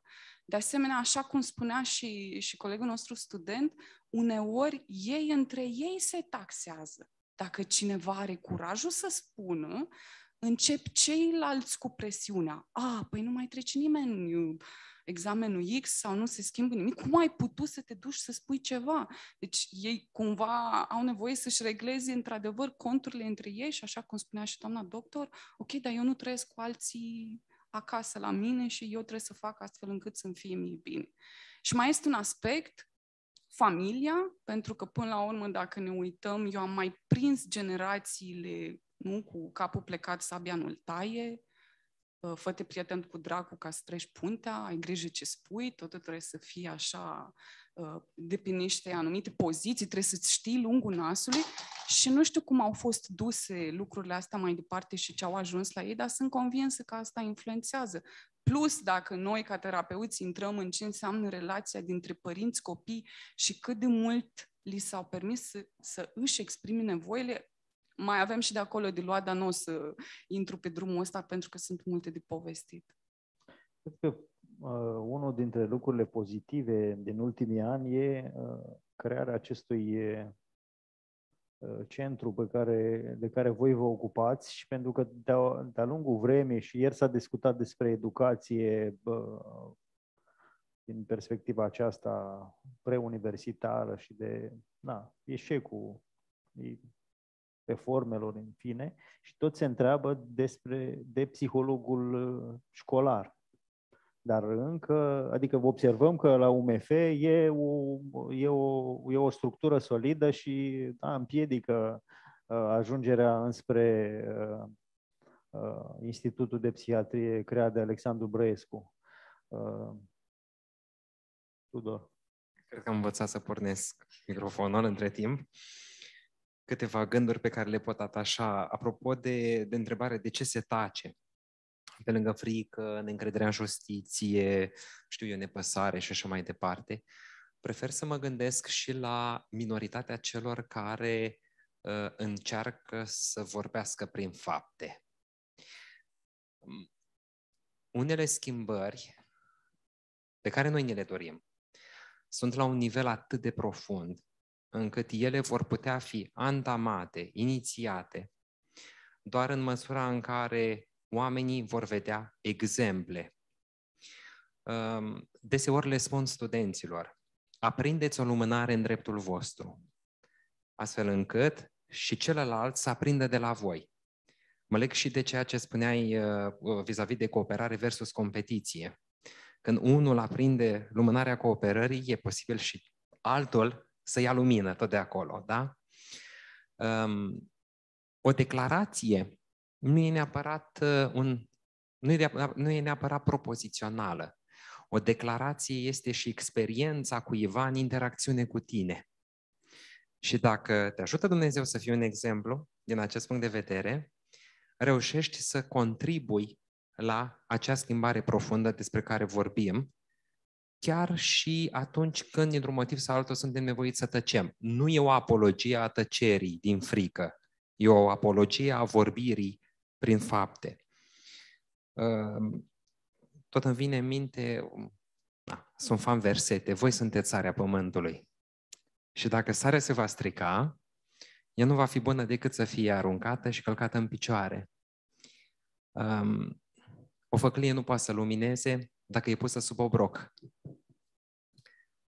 Dacă în tot răul cu care ne confruntăm și uh, mai multe viziuni filosofice și religioase spun că, că suntem cu toții victimele răului, da? opus viziunii în care există oameni răi, suntem cu toții victimele răului, da? Deci dacă uh, în reușim să um, răul pe care îl vedem, să-l putem contracara cu o putere a exemplului atât cât reușim noi, uh, s-ar putea să avem surprize, să fim declarații vii. Icoane vii era, la un moment dat, o expresie, undeva în ortodoxie. Mulțumesc!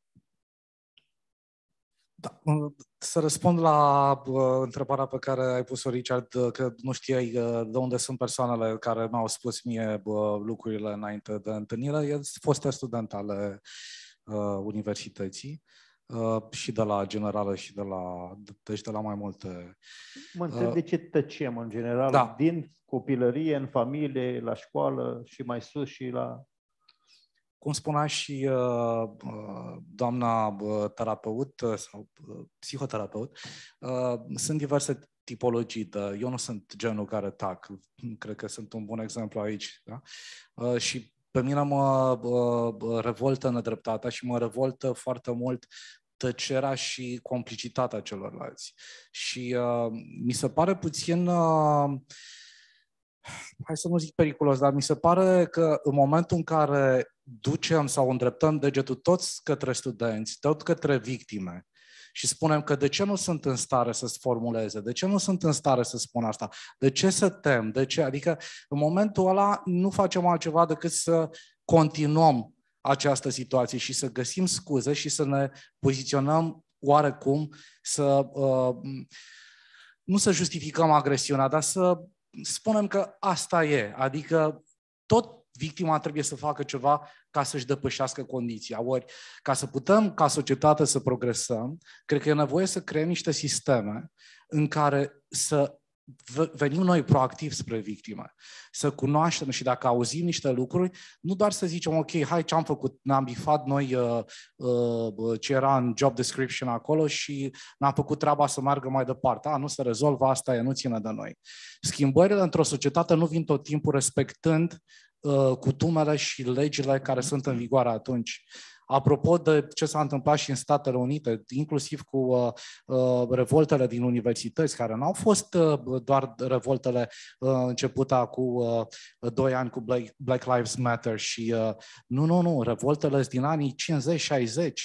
Da? Deci a, a fost nevoie de zeci de ani de a confrunta, de a lupta împotriva prejudecăților, împotriva uh, discriminării, pentru a putea ca anumite categorii de oameni să ajungă să aibă cât de cât șansă, apropo că e și o temă, șansă, egalitatea de șansă în discuția din, din seara asta. Deci, a încerca doar să uh, uh, schimbăm ceva, dar fără să deranjăm, nu va face altceva decât să întărească un sistem care nu va face altceva decât să-și uh, internalizeze criticile și să devină mai puternic. Nu. Sistemul trebuie scutura, scuturat, trebuie zgâlțit, trebuie zdruncinat. Și dacă acel tată, a fost foarte bun exemplu uh, dat de uh, doamna avocat, cu acel tată care când a văzut că nu uh, se schimbă nimic, s-a dus și a, a făcut el, ok, nu, să nu se înțeleagă că încurajez în vreun fel violența sau poate nu trebuia să ajungă la a avea o astfel de reacție viscerală gravă de omul respectiv, dar a, a da un exemplu și a, a arăta, a, a se poziționa, a, a confrunta, e datoria fiecăruia dintre noi și nu numai a, a, a victimelor, ci și a celor care vedem sau am put- suntem în situația să putem uh, ajuta acele victime. Și apropo de, de, de aceste povești, de ce, nu, uh, de ce nu se spune, pot să spun că eu am întrebat astăzi când uh, am auzit uh, toate întâmplările astea, de ce n-ai spus în momentul ăla, de ce n-ai spus familiei, de ce n-ai spus? Și pe lângă această frică, pe lângă uh, uh, tama de a fi stigmatizat, de a te întreba De ce poate e ceva în regulă cu tine? Dar de ce s-a dat la tine? Dar de ce nu s-a dat și la celălalt? Dar de ce? Adică există această, mai ales și vorbim acum de, de persoane care uh, intră uh, la 18-19 ani persoane care poate nu toate fac parte din familii uh, care să încurajeze uh, o atitudine uh, uh, proactivă, care uh, să aibă discernământ, să aibă relații, să poată uh, uh, susține un copil care este apoi atacat de tot sistemul, pentru că în momentul în care uh, uh, acel agresor uh, uh, își pune în, uh, în, în funcțiune toate cunoștințele, așa cum povestea Marcel, el are probleme, uh, acel copil are probleme nu numai la materia din păcate. Și am auzit în aceste relatări, exemple, păi da cum, dar colegul meu sau a fost cineva care a făcut asta, n-a mai trecut toți colegii pe acelui profesor nu l-au mai trecut. Adică sistemul va lupta, va fi complice și va lupta pentru a păstra nu știu din ce cauză, inclusiv astfel de, uh, de, de, de personaje. Ori în momentul în care în, uh, în, în Statele Unite s-a uh, a apărut acest uh, cancel culture și, bun, el a fost uh, să zicem, folosit și uh, s-a făcut foarte multă, uh, foarte multă vârvă când s-a folosit pe anumite uh, pretexte, anumite motive ideologice. Când anumiți profesori care spuneau lucruri care nu conveneau unei mase de, de studenți, să făceau scrisori și acel încercau să-l, să-l dea afară din universitate.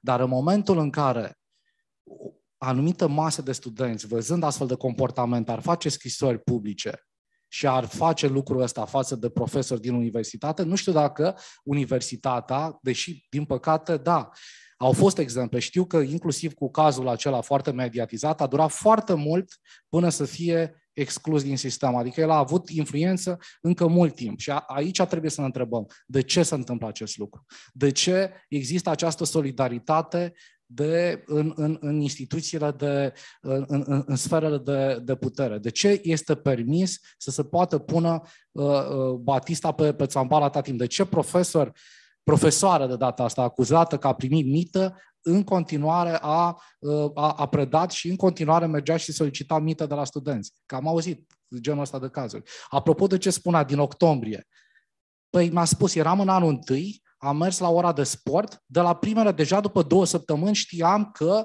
va trebui să-i dau 100 de euro pe care mi-o cerea ca să nu mai pună să fac uh, poziții cu conotații sexuale, să, să, să, să le fac de față cu, cu ceilalți studenți.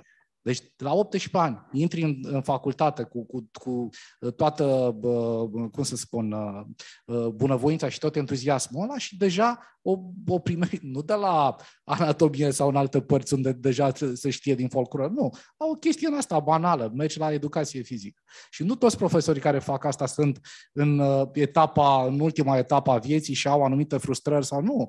Am înțeles că se întâmplă și la oameni de, de, de vârstele noastre. Și, din păcate, acest comportament este atât de tolerat și atât de, uh, uh, cum să spun, scuzat și protejat de, de, de, de modul de relațiile care uh, intervin în, în cadrul instituției, încât acești copii ajung la, la, la spital uh, cu internări, cu probleme de, de grave. Da? Deci, revenind că vreau să închei uh, pe uh, ceea ce spun aici, aș fi curios dacă doamna terapeut a auzit astfel de, de povești, care încă continuă, din păcate, adică eu poveștile pe care le-am auzit nu sunt de acum 15 ani, sunt de, de anii trecuți, și concret, adică ce se întâmplă când vine o studentă și spune că vine profesorul și nici măcar nu se uită pe teza mea, taie, pune unul, spune lasă că ne vedem, pune mâna pe mine și spune lasă că mâine o să fie bine, vii tu la cabinet și rezolvăm și nu știu ce. Concret, în cazul din asta, ce face, cum, cum puteți ajuta astfel de copii și ce se întâmplă mai departe? Îmi pare rău că, nu știu, am o, din, sunt din, încă sub uh, influența e, a ceea ce am auzit și regulă. sunt foarte revoltat că încă din, se poate întâmpla uh, nefericire nu au venit studenți cu cazuri de uh, hărțuiri. Deci noi, eu personal, nu am auzit cazuri atunci când s-au întâmplat. Da, cu absolvenți, da, cu oameni cu care mai țin legătura, dar nu, n-a venit niciun student să-mi spună, Monica, uite, am uh, fost privită într-un anumit fel, mi s-a propus un anumit lucru. Nu, din păcate, pentru că asta era întrebarea. De ce nu? Și pentru că noi la toți le spunem asta, pentru că există credința asta, nu o să se schimbe nimic și atunci de ce să vin să spun? Dau un exemplu. Prima oră de la primul obiect, n-am să spun ce obiect, n-am să spun, repet, da? Să mm-hmm. zicem că e așa. Uh, știu că ați auzit că la mine se trece doar cu 100 de euro, uh, dar nu este adevărat. Se poate trece și altfel. Da? Și scris pe urmă pe tablă 100 de euro examenul. Și altfel înseamnă la cabinet, în, în particular. Mm-hmm. De la prima oră anul mm-hmm. întâi. Nu știu, adică și zeci de oameni care trec prin adică nu, a, a spune că nu se știe chestia asta, mi se pare că... Dar vă dați seama că eu n-am spus că nu se știe, am spus că acești tineri, cel puțin în birou de consiliere, cu cine ocupăm noi, nu vin să nominalizeze și să-mi spună, uite, mi s-a întâmplat asta. Pentru că vă dați seama, prin uh, natura profesiei noastre, noi avem o relație deschisă cu superiorii noștri, noștri și comunicăm. Adică eu personal, eu, Monica, mă duc mai sus și spun situația studentului X, cum facem. La noi ajung, din păcate, mai mulți studenți care au dificultăți de natură uh, emoțională, psihologică, din cauza atitudinii că nu se le explică foarte mult, nu știu foarte mult, nu ajung cazurile astea la noi la urechi. Asta nu înseamnă că ele nu există. Eu asta spun, să nu mă înțelegeți greșit. Tocmai că noi știm și de-aia am venit aici, pentru că altfel cred că mergeam și vorbeam despre alte lucruri. Și da, sper că această dezbatere, într-adevăr, pe noi ca instituții să ne ducă înspre niște planuri de acțiune clare. Sunt 100% de acord cu dumneavoastră. În schimb, mai trebuie să luăm în considerare un aspect. Noi suntem doi consilieri la 10.000 de studenți, adică cu toată bunăvoința din lume, noi că dădeam exemple din străinătate, da? la universitățile de top, fiecare student ajunge automat la un consilier, la un consilier de carieră și la un consilier psihologic. Cumva așa e procesul. La noi suntem solicitați pe diverse uh, subiecte. Da, clar, eu nu spun că nu există uh, situațiile astea, fără discuții. Le știm și noi, le auzim din presă, dar tocmai apropo de lipsa acestui curaj și a deznădejdii. Eu sunt convinsă că de aia, pentru că știți când aflăm cazuri de genul ăsta, când aleg să-și retragă dosarul de la studii, pentru că noi purtăm un soi de discuție pentru ce pleci și cu ce feedback, cum a fost. Și abia atunci fiind și îmi spune, în anul întâi mi s-a întâmplat asta și când îl întreb, ok, și unde ai mers și ai spus? Păi nicăieri. Păi din ce motiv? Păi toată lumea mi-a spus că dacă zic asta, clar că nu o să mai trec și n-am vrut să-mi asum. Da, da. Mie mi-ar fi prins bine, spre exemplu, asta cu când retrăgeam dosarul să mă fi întrebat și spus. Dar ca idee, ați întrebat dacă e vorba de mai multe materii, tocmai când a fost vorba. De asta spunem de suportul universității, de asta spunem de capacitatea unui sistem imun să elimină tumoare. Asta m-a făcut mândru și destul de repede. În schimb, patru semestre la anatomie, în practic, tot timpul am picat și tot timpul în grill am fost primul. Dar revenind, suntem aici și vorbim de soluții. Eu sunt psihoterapeut. Sunt singurul care l-a înfruntat. Adică eram primul care l-a înfruntat atunci. Asta, asta a fost problema. Dar ca idee, da, oricum n-am mai avut nicio treabă cu prietena mea din perioada aia, pentru că ea nu a putut să-l înfrunte, dar asta e o dramă mult mai mare. Unde vreau să ajung e că și eu sunt psihoterapeut și vă pot confirma. În momentul în care persoana ajunge în cabinetul meu, eu lucrez deja cu o motivație, problema e pe jumătate rezolvată. Și de obicei trebuie să fie algică, adică trebuie să doară sufletul, anxietate, depresie. Asta a fost o traumă despre care eu n-am vorbit cu prietenii mei. Mi-a fost rușine. Am simțit că n-am putut să protejez pe cineva.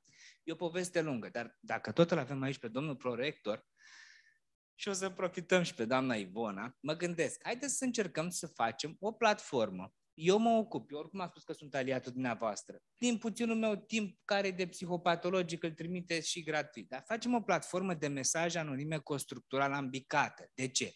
Că altfel orice persoană care e frustrată scrie mesaj către anonim, da? Raportează ceva. Dacă când e o structură din aia de trebuie să răspunzi la 5 pagini, numai eu aș fi scris. Vă spun sigur, da? Aș fi stat, aș fi completat și ar fi limită de cuvinte, reformulare, da? Dacă facem acest lucru, suntem cu pași înainte, scurcircuităm, pentru că Cei care chiar au trăit sau au văzut abuzuri vor scrie cinci pagini. Vor face eseul respectiv anonim.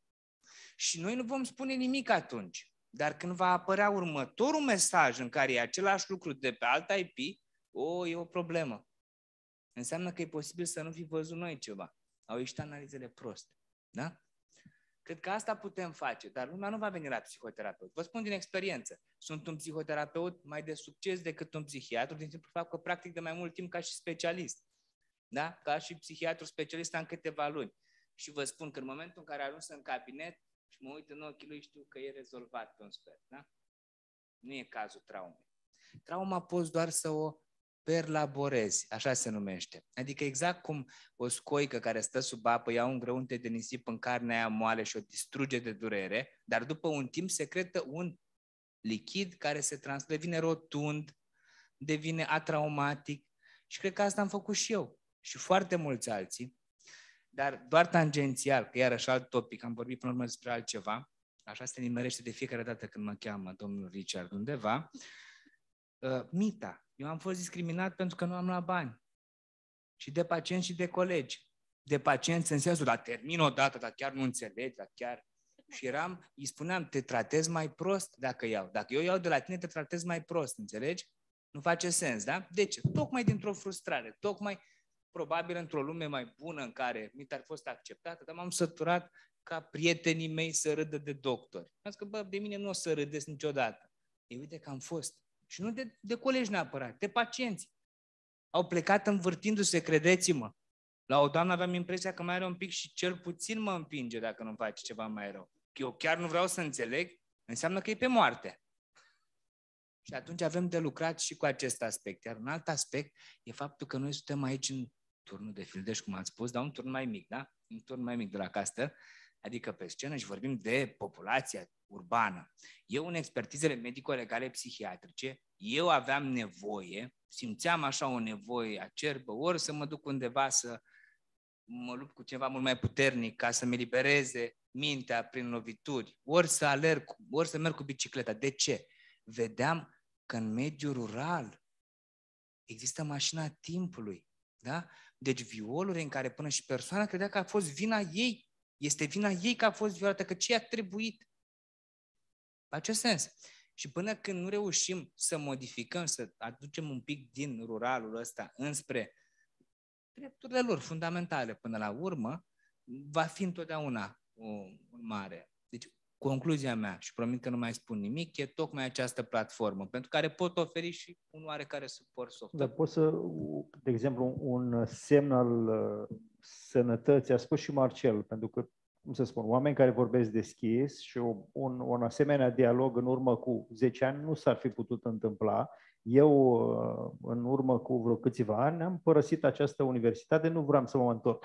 Dar tocmai pentru că am observat când am revenit că ușa se deschide acolo în turnul din unde s-a înființat prima universitate la 1860 și bă, Radu Ilescu, Viorel Scripcariu, sunt, uh, nu, și nu e o chestiune acum că încep să periez uh, conducerea uh, online și offline, ci s-a întâmplat, a fost o vreme când tângeam să mă întorc la București. Da? Eram redactor șef la o revistă importantă, aveam un salariu de nu știu câte ori mai mare decât cel pe care l-am acum, dar și naivitatea, poate și entuziasmul acesta al Uh, preocupărilor culturale m-au făcut să revin, dar după aceea, observând că se respiră un pic mai, mai bine și mai bine și mai bine și asta cred că demonstrează faptul că putem vorbi și s-au întâmplat lucruri în ultima vreme și uh, e, cum să spun, uh, salutar pentru că și prin aceste genuri de întâlniri și toate celelalte și înființarea Centrului Cultural care girează acest Uh, acest, această dezbatere împreună cu colegii de la comunicare. Sunt pași pe care uh, și alte universități în care nu e uh, mare soare și distracție și acolo e, e, e tensiune, e depresie, dar sunt prin spate. Și vrei să spui ceva, Aura, sau... Nu, am încheiat. Mi se pare foarte bună bă, această bă, inițiativă și, într-adevăr, ar putea, adică degeaba discutăm dacă nu există niște pași uh, uh, concreți. Eu uh, nu am venit altceva decât să, nu știu, să, să lansez, să dau voce celor care nu au avut atunci uh, uh, curajul să, să spună anumite lucruri și uh, da, mi se pare mai important decât să vă povestesc despre cât de fain totuși a fost pavilionul României la Bienala de la da, Veneția, da, care, care, care a atins niște, niște subiecte de, de genul ăsta și a fost unul din cele mai uh, îndrăznețe pavilioane și trebuie să fim mândri de, de chestia asta. Legat de feminism, într-adevăr, uh, există totuși și o mișcare feministă în societatea românească și un discurs feminist, mai ales în zona culturii contemporane, foarte puternic. Însă uh, problema apare când în, uh, în uh, discursul mainstream, în, în ceea ce vedem și în comentariile pe social media, în tot ce înseamnă Web 2.0, Web 3.0 și modul în care utilizatorul om obișnuit ajunge să inter- interacționeze, vedem că astfel de uh, inițiative, cum a fost cea, cea a doamnei uh, Vodă, actrița din uh, Filantropica, sau alte persoane, mai era o actriță care a povestit despre ce s-a întâmplat la un ATC, apoi a apărut ieri un articol în scena nouă despre ce s-a întâmplat la Facultatea de uh, Actorie de la Cluj. Deci încep să apară din ce în ce mai multe astfel de, uh, de Uh, dezvăluiri și astfel de uh, semnale de că, ok, trebuie să se întâmple ceva, trebuie să schimbe ceva. Însă, foarte mulți uh, oameni care observă și, din păcate, destul de multe femei ajung să uh, condamne tocmai femeile care aleg să iasă în față și să uh, facă astfel de dezvăluiri. Și aici e o problemă pe care o avem la nivel de societate și care nu poate fi modificată decât cu ani întregi de educație și de expunere la uh, a, a, aceste tipuri de discurs, la aceste tipuri de, de, de, de raportări. Pentru că odată ce ți-ai internalizat din familie, din bunici, din părinți, un anumit tip de comportament, e foarte greu ca tu, în momentul în care ești supus unor stimuli echivalenți, să faci altceva decât să copiezi niște și aici cei trei colegi care sunt specializați în, în, în, în genul ăsta de, de, de problematici poate să spună mult mai bine. Însă, de aceea e important ca nu doar să vorbim despre lucrurile astea, ci să apară și astfel de inițiative. Și sunt convins că, așa cum cei de la uh, scena nouă sau Recorder sau Rise sau toate, toate aceste platforme au atins acest subiect și probabil vor ajunge și la Universitatea de Medicină să facă niște uh, materiale pe, de, despre ce s-a întâmplat aici. Cred că ar fi mai important ca universitatea să reușească să își uh, regleze cumva din interior, să pună la dispoziție niște astfel de, de, de mecanisme prin care să uh, arată că nu mai dorește să mai tolereze astfel de comportamente. Pentru că astfel de comportamente, vă spun sincer, știți ce m-au spus ambele persoane care m-au sunat astăzi? A, a fost ceva care pe mine, nu știu, m-a șocat. A zis, copilul meu eu nu o să-l dau la UMF Iași ca să nu fie nevoie să treacă prin ce... Adică nu au încrederea că nici măcar o generație care le despartă de ar putea să schimbe lucrurile astea. Pentru că au auzit despre lucrurile astea de la părinți, l-au văzut, l-au trăit, au văzut că cei care vin după ei încă le experimentează și acest lucru nu este decât în defavoarea noastră ca și comunitate. Adică, din păcate, nu reușim să creăm niște cadre prin care să dăm încrederea oamenilor să rămână sau dacă să rămână, să-și dea copiii la anumite instituții de învățământ care constată că nu reușesc să depășească aceste probleme.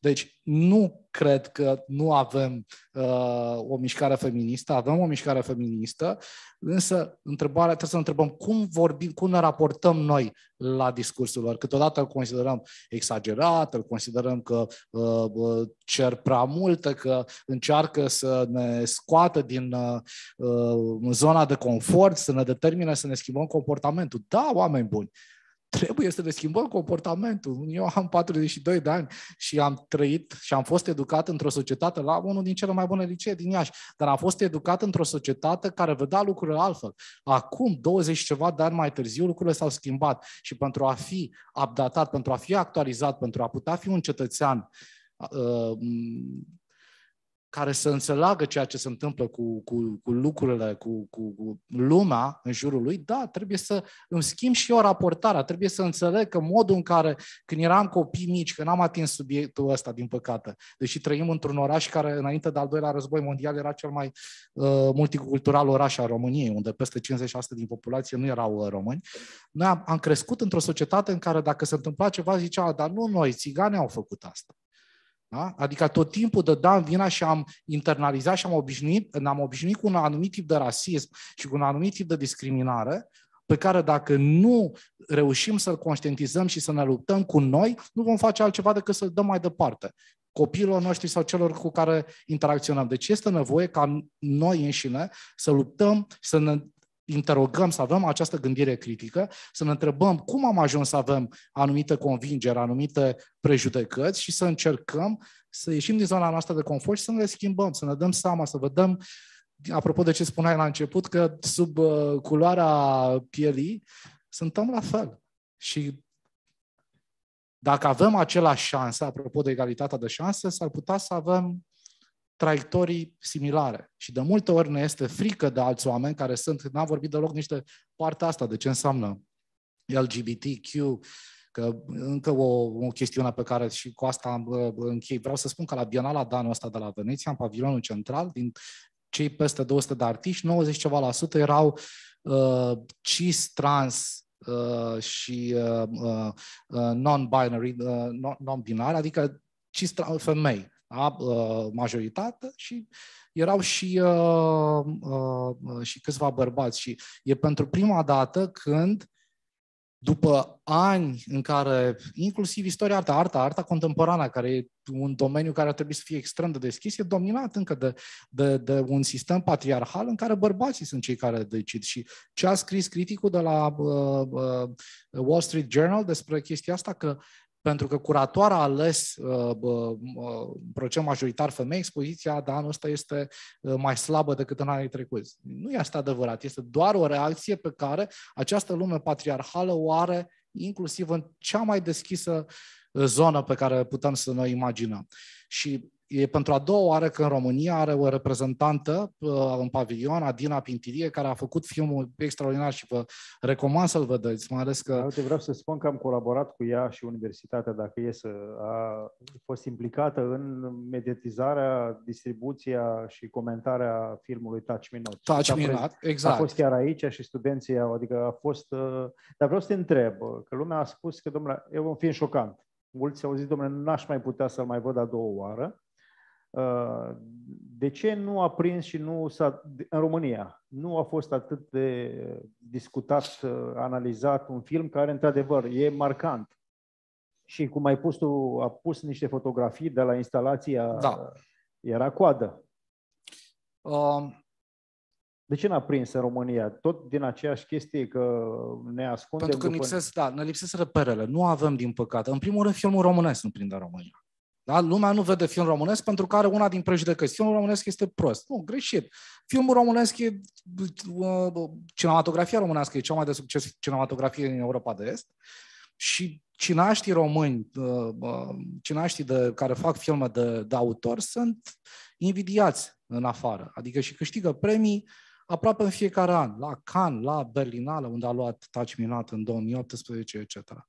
Deci, în primul rând, e o prejudecată pe care o avem față de producție românești. Doi la mână, într-adevăr, filmul pune niște probleme uh, uh, care ne confruntă foarte multe prejudecăți pe care le avem despre ce înseamnă estetic, despre ce înseamnă atingere, despre ce înseamnă erotism, despre ce înseamnă sexualitate.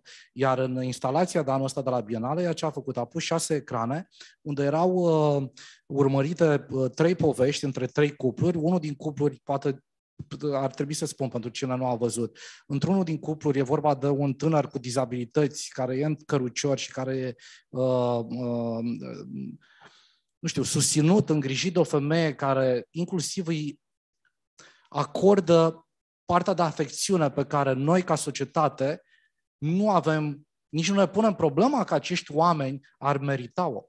Adică ni se pare automat că pentru că nu mai seamănă cu noi, de multe ori nici nu îi mai considerăm oameni. Ei, filmul acesta ne pune, sunt niște imagini pe care, repet, dacă nu ai, nu ești expus sau dacă nu ai uh, văzut în niște centre, dar nu ai lucrat cu persoane cu genul ăsta de dizabilități, e foarte greu să le, adică stârnești niște reacții aproape viscerale. Am văzut oameni care, le repet, inclusiv la Bienală, n-au putut să uite și au plecat. Deși nu sunt extrem de șocante, dar e inconfortabil. Apoi... Și la, la, la, la expunerea firmei plecau din sală, unii da, nu rezistau. Da. Da, da sau între un cuplu de gay sau uh, un, uh, un alt uh, domn care dorise de, de foarte mult să se simțea femeie și a avut curajul la 50 și ceva de ani să-și facă operație de schimbare de sex și inclusiv cu i-au crescut sânii, era foarte mândru care uh, sâni, etc. Bun, erau aceste șase panouri într-o încăpere principală și uh, poveștile care mergeau pe, pe aceste șase panouri erau diferite, adică te obligau să te învârți prin sală și să te uiți dintr-o parte în alta. La un moment dat se stingeau luminile și erai uh, poftit spre o altă sală, unde pe trei uh, brațe din asta mecanice de robot erau alte trei uh, ecrane, unde fiecare uh, această pove- din aceste trei povești era imaginată. Și mergeai prin sală, te uitai, dar cel mai interesant era că erai observator și a celorlalți care se uitau cu tine.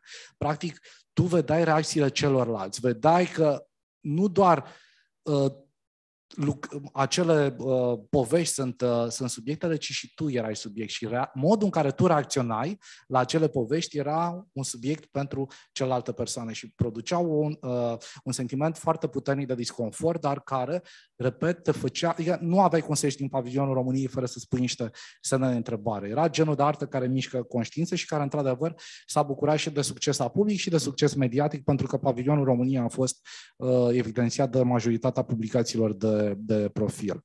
Și atâta timp cât nu o să ieșim din zona noastră de confort și să încercăm să ne punem în pielea celuilalt, pentru că partea a doua a proiectului era la o instalație de virtual reality, uh, în care îți puteai pune niște ochelari selectai cu degetul unul dintre participanți și apoi îți vedeai corpul ca și cum ar fi corpul participantului, uh, uh, personajului respectiv și puteai inclusiv să atingi cealaltă persoană. Adică făcea aceste exerciții de, de embodiment, de, de, de a te pune în pielea celuilalt și de a vedea cum reacționezi, cum, cum te poți raporta. Dar da, da, da, Altceva. face ceea ce foarte rar reușim să, să facem, să ne transpunem, să încercăm să abordăm perspectiva altuia. Pentru că perspectiva noastră, de asta eu am zis că suntem privilegiați, suntem niște oameni albi uh, care nu am avut uh, vreun handicap major de când am născut ok, doamnele au această uh, problemă legată de discriminarea de gen și care există și eventual probleme cu hărțire, nu știu, dar fiecare femeie poate să spună sau nu lucrurile care s-au întâmplat, dar altfel facem parte dintr-o majoritate care e, e, trebuie să iasă din zona de confort pentru a putea să înțeleagă perspectivele celorlalți. Și atât timp cât nu o să facem lucrul ăsta, nu o să reușim să-i ajutăm pe cei care sunt victime și care poate nu au curajul, nu au glasul, nu găsesc resursele, nu găsesc o rețea de susținere. E foarte important să existe și o rețea de susținere, pentru ca un student să poată să aibă curajul să confrunte. Mi-a zis o uh, uh, uh, doamna care mi-a povestit chestia asta, că mi-am întrebat, de ce n-ai cerut examen în altă parte dacă nu citam? Mi-a fost frică de ce o să întâmple. Era doar în București cineva de genul, trebuia să vină, mi-a fost frică că nu voi mai putea termina. Familia nu a fost de acord ca să dau la medicină. Dacă eu nu terminam facultate era un eșec, erau at- atâția ani investiți, era depindea cariera mea, m-am gândit, mi-a trecut prin minte chiar să accept acest compromis. Am reușit să nu, pentru că am avut suficienți oameni și eram dispusă, dacă nu mă trecea, să fac ce au făcut alții, să vorbesc cu niște oameni, să ducă să-l amenințe fizic pe acel om. Deci să ajunge la situații disperate. Da? Omul ăla care i-au pus sau a fost bătut sau i-au pus, deci dramele sunt incredibil de mari, chiar dacă nu se văd. Sunt niște uh, drame care pot avea uh, consecințe, cum să spun, uh, nu doar uh, uh, psihologice, ci și consecințe uh, la nivel fizic. În, uh, și cred că asta e ceea ce trebuie să facem. Dacă suntem prieteni, uh, iubiți, uh, frați, părinți, dacă auzim, în primul rând, să încurajăm persoane de genul ăsta și dacă se întâmplă așa ceva, să nu conteze, să venim să confruntăm agresorii. Să confruntăm, nu contează, cu orice preț. Agresorii trebuie să confruntați. Nu așa vor înțelege că trebuie să se oprească. Da? Și dacă suntem doar colegi, să sprijinim pe cei care sunt uh, uh, victime și sunt abuzați. Asta e tot ce putem să facem ca să ne putem culca cu conștiința împăcată și să nu ajungem cu probleme de anxietate și la, să luăm tot felul de medicamentații. Ok, scuze că m-am uh, lungit așa de mult. Aura sau cine? Să-i duci, stai să-i dau microfonul.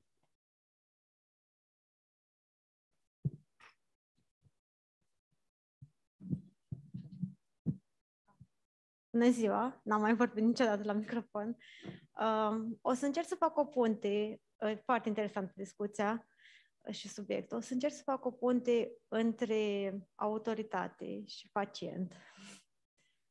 Tu fiind, stai... Eu sunt medic igienist. Știți cu ce se ocupă igiena? Pentru că cam lipsește la noi în țară, cam asta e concluzia. Concluzia de 10 ani în care am fost atât și medic și pacient, mm, cam am avut parte de o grămadă de discriminare și o grămadă de tăcere. Um, și cred că ar trebui investit mai mult în uh, a face oamenii de rând să înțeleagă ce se întâmplă în familia lor, pur și simplu. Pentru că prima persoană la care apelăm nu este autoritatea, nu este medicul, nu este avocatul sau poliția, ci este părintele. Și dacă nu ajungem la părinte și îl condamnăm și zicem că e agresor sau na, victima are acea problemă că s-a expus, niciodată nu o să ajungem la empatie, să atingem practic persoana și umanitatea din noi. Așa că dacă putem face niște programe în care, nu știu, să-i punem la masă, pur și simplu, ca oameni. Cred că asta ar trebui să facem. Și vă spun, eu am prieteni și medici, dar am prieteni și de la spitalul de psihiatrie, care sunt oameni foarte normali, deștepți, cu facultate, și au ajuns acolo, din păcate, într-o eră în care nu exista psihoterapia așa în mare vogă și nu au avut unde să-i ducă, practic asta e, a fost situația. Și mulțumesc. Mersi și eu. Dacă îmi permit să intervin, Richard. Bineînțeles. Uh, apropo și de întrebarea Iuliei, mi-aduc bine aminte, da? Um, și pentru că am uh, pomenit despre feminism, să ne amintim că feminismul vorbește despre scoaterea la lumină a tuturor relațiilor de putere din societate nu doar între genuri, ci și între alte tipuri de grupuri. Chiar în relația părinte-copil se pot găsi anumite uh, tranzacții de putere care, după alte modele culturale, n-ar avea ce căuta acolo. Deci e important pentru că deseori, și mă întorc un pic și la ce spunea colegul meu psihiatru, lipsește limbajul necesar noi la bioetică predăm studenților etica îngrijirii sau etica grijii, care este o etică feministă. Și ce spune sau cum începe conținutul acesta? Păi începe așa, că multe din valorile pe baza cărora noi construim discursurile publice sunt valori care au o tradiție în același discurs public în agora, da? în, în, în același, acest discurs public care a fost foarte multă vreme dominat de bărbați. Și că valorile ilustrate mai bine în interiorul um, atmosferei casnice, în interiorul gospodăriei, au fost cumva lăsate pe planul 2.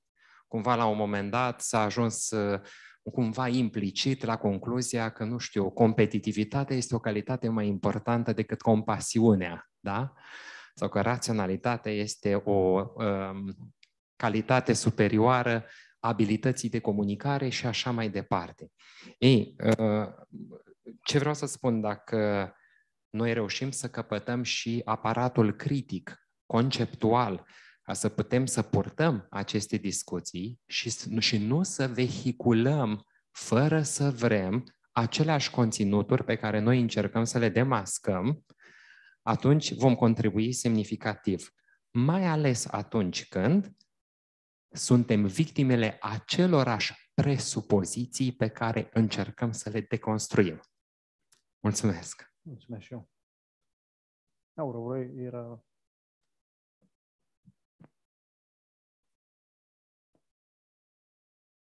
Să pești lung. Voiam să răspund, cred, la o întrebare adresată în anterior și anume de ce există solidaritate.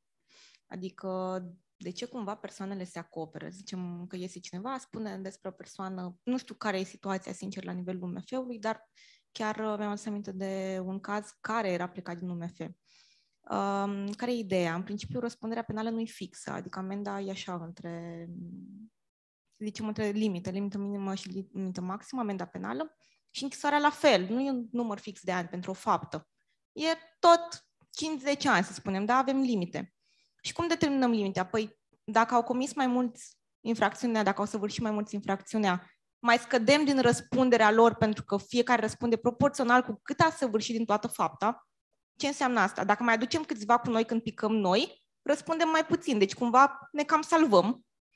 Și doi, dacă mai spunem alte fapte despre care știm, din nou am cooperat, deci ni se mai reduce un pic pedeapsa pe care o primim. Și acum, în urmă cu vreo 2 ani, chiar era un caz uh, de la UMF, vorbeam cu niște colegi, erau cam nedormiți, erau avocați într-un caz și mi-au zis că au stat uh, timp de două zile ascultând numai conversații telefonice ca să vadă pe cine mai pot băga într-un dosar ca să mai scadă un pic pedeapsa uh, clientului lor. Deci, odată ce pică cineva, de asta cred eu că e solidaritate și, în general, când avem probleme în instituții.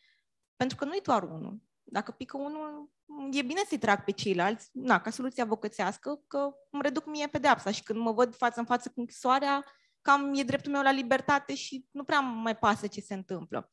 Uh, plegat și de această problemă cu ea și tumită. De ce nu e și tumită?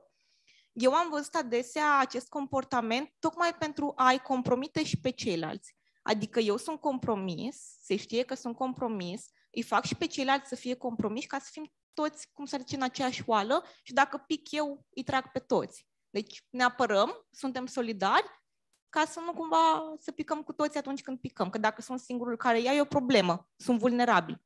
Dacă luăm 20, a, dacă pic eu ceilalți 19, știu că pică și eu odată cu mine.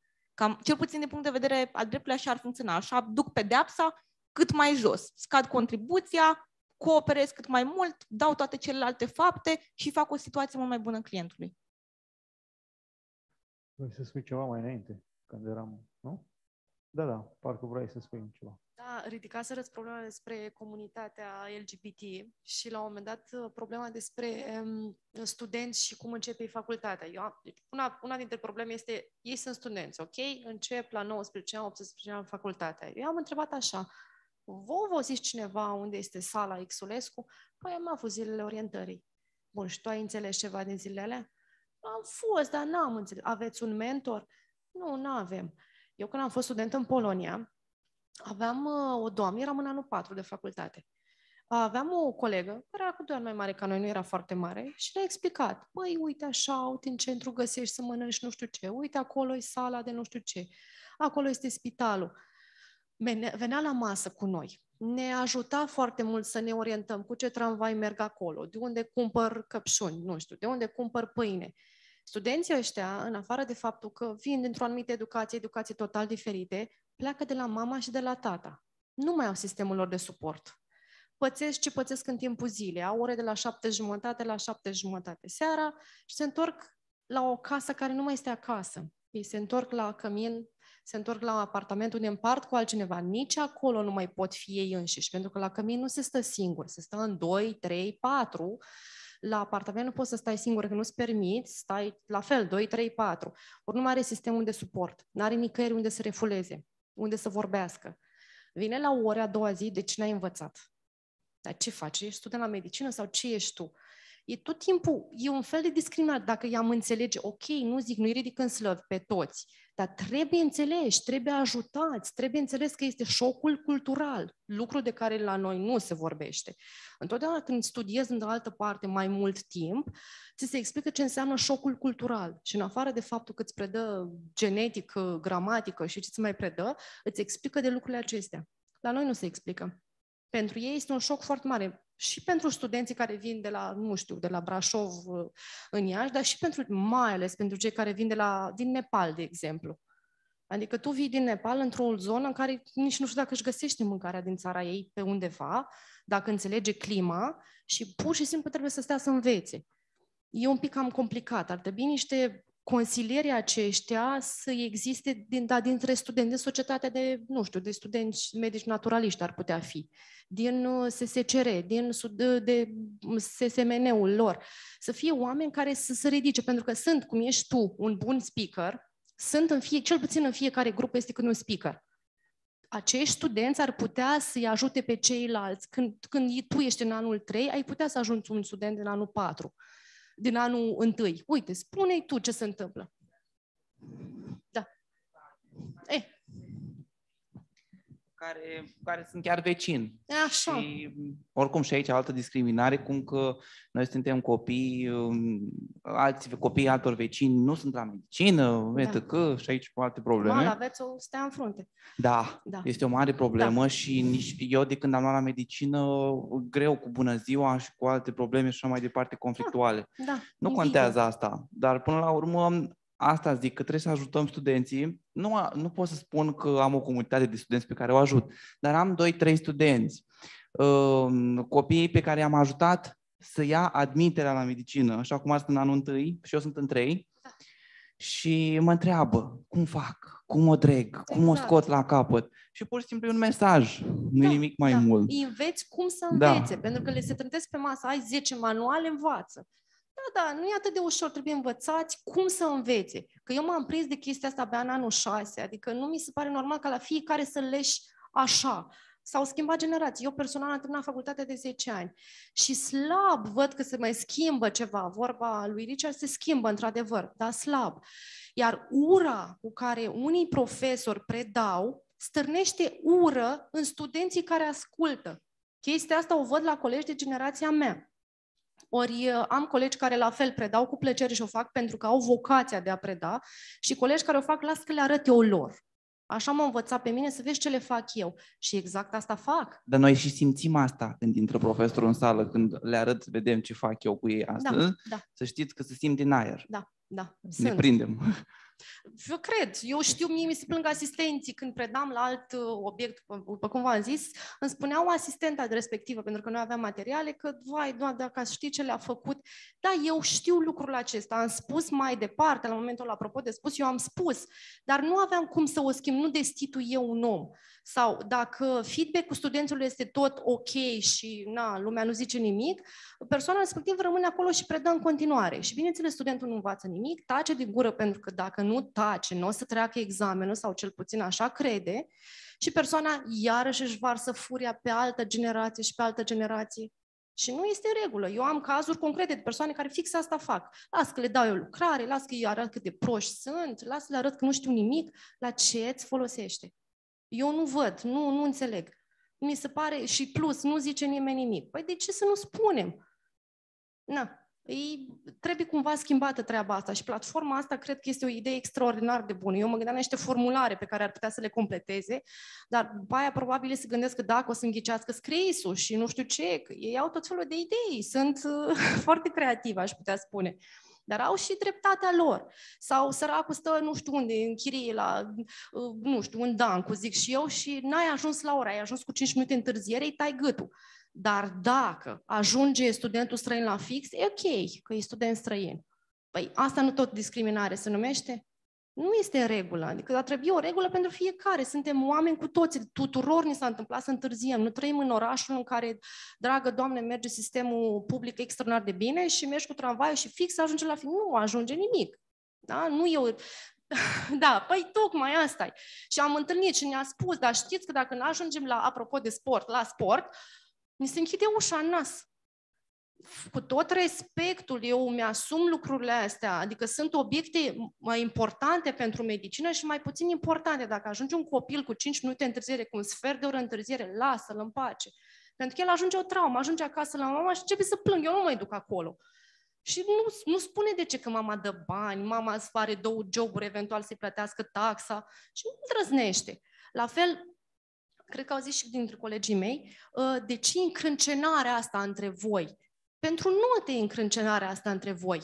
Pentru încrâncenarea că... dintre studenți și concurența da, dintre asta... studenții români, nu străini. Da, dintre studenții români, Pentru adică buget. care Aia. ajunge o concurență patologică, da, deja da, putem spune. Da. Eu cred că, unul, mulți studenți sunt presați financiar, da, mulți da. studenți da. sunt presați de părinții lor din punct de vedere financiar, mulți studenți au părinții cu situație financiară, dar părinții nu îi ajută pe cât ar trebui. Da. Și al, al, un, un caz în care sunt poate studenți care depind enorm de mult de bursa respectivă sau de locul la buget. Da.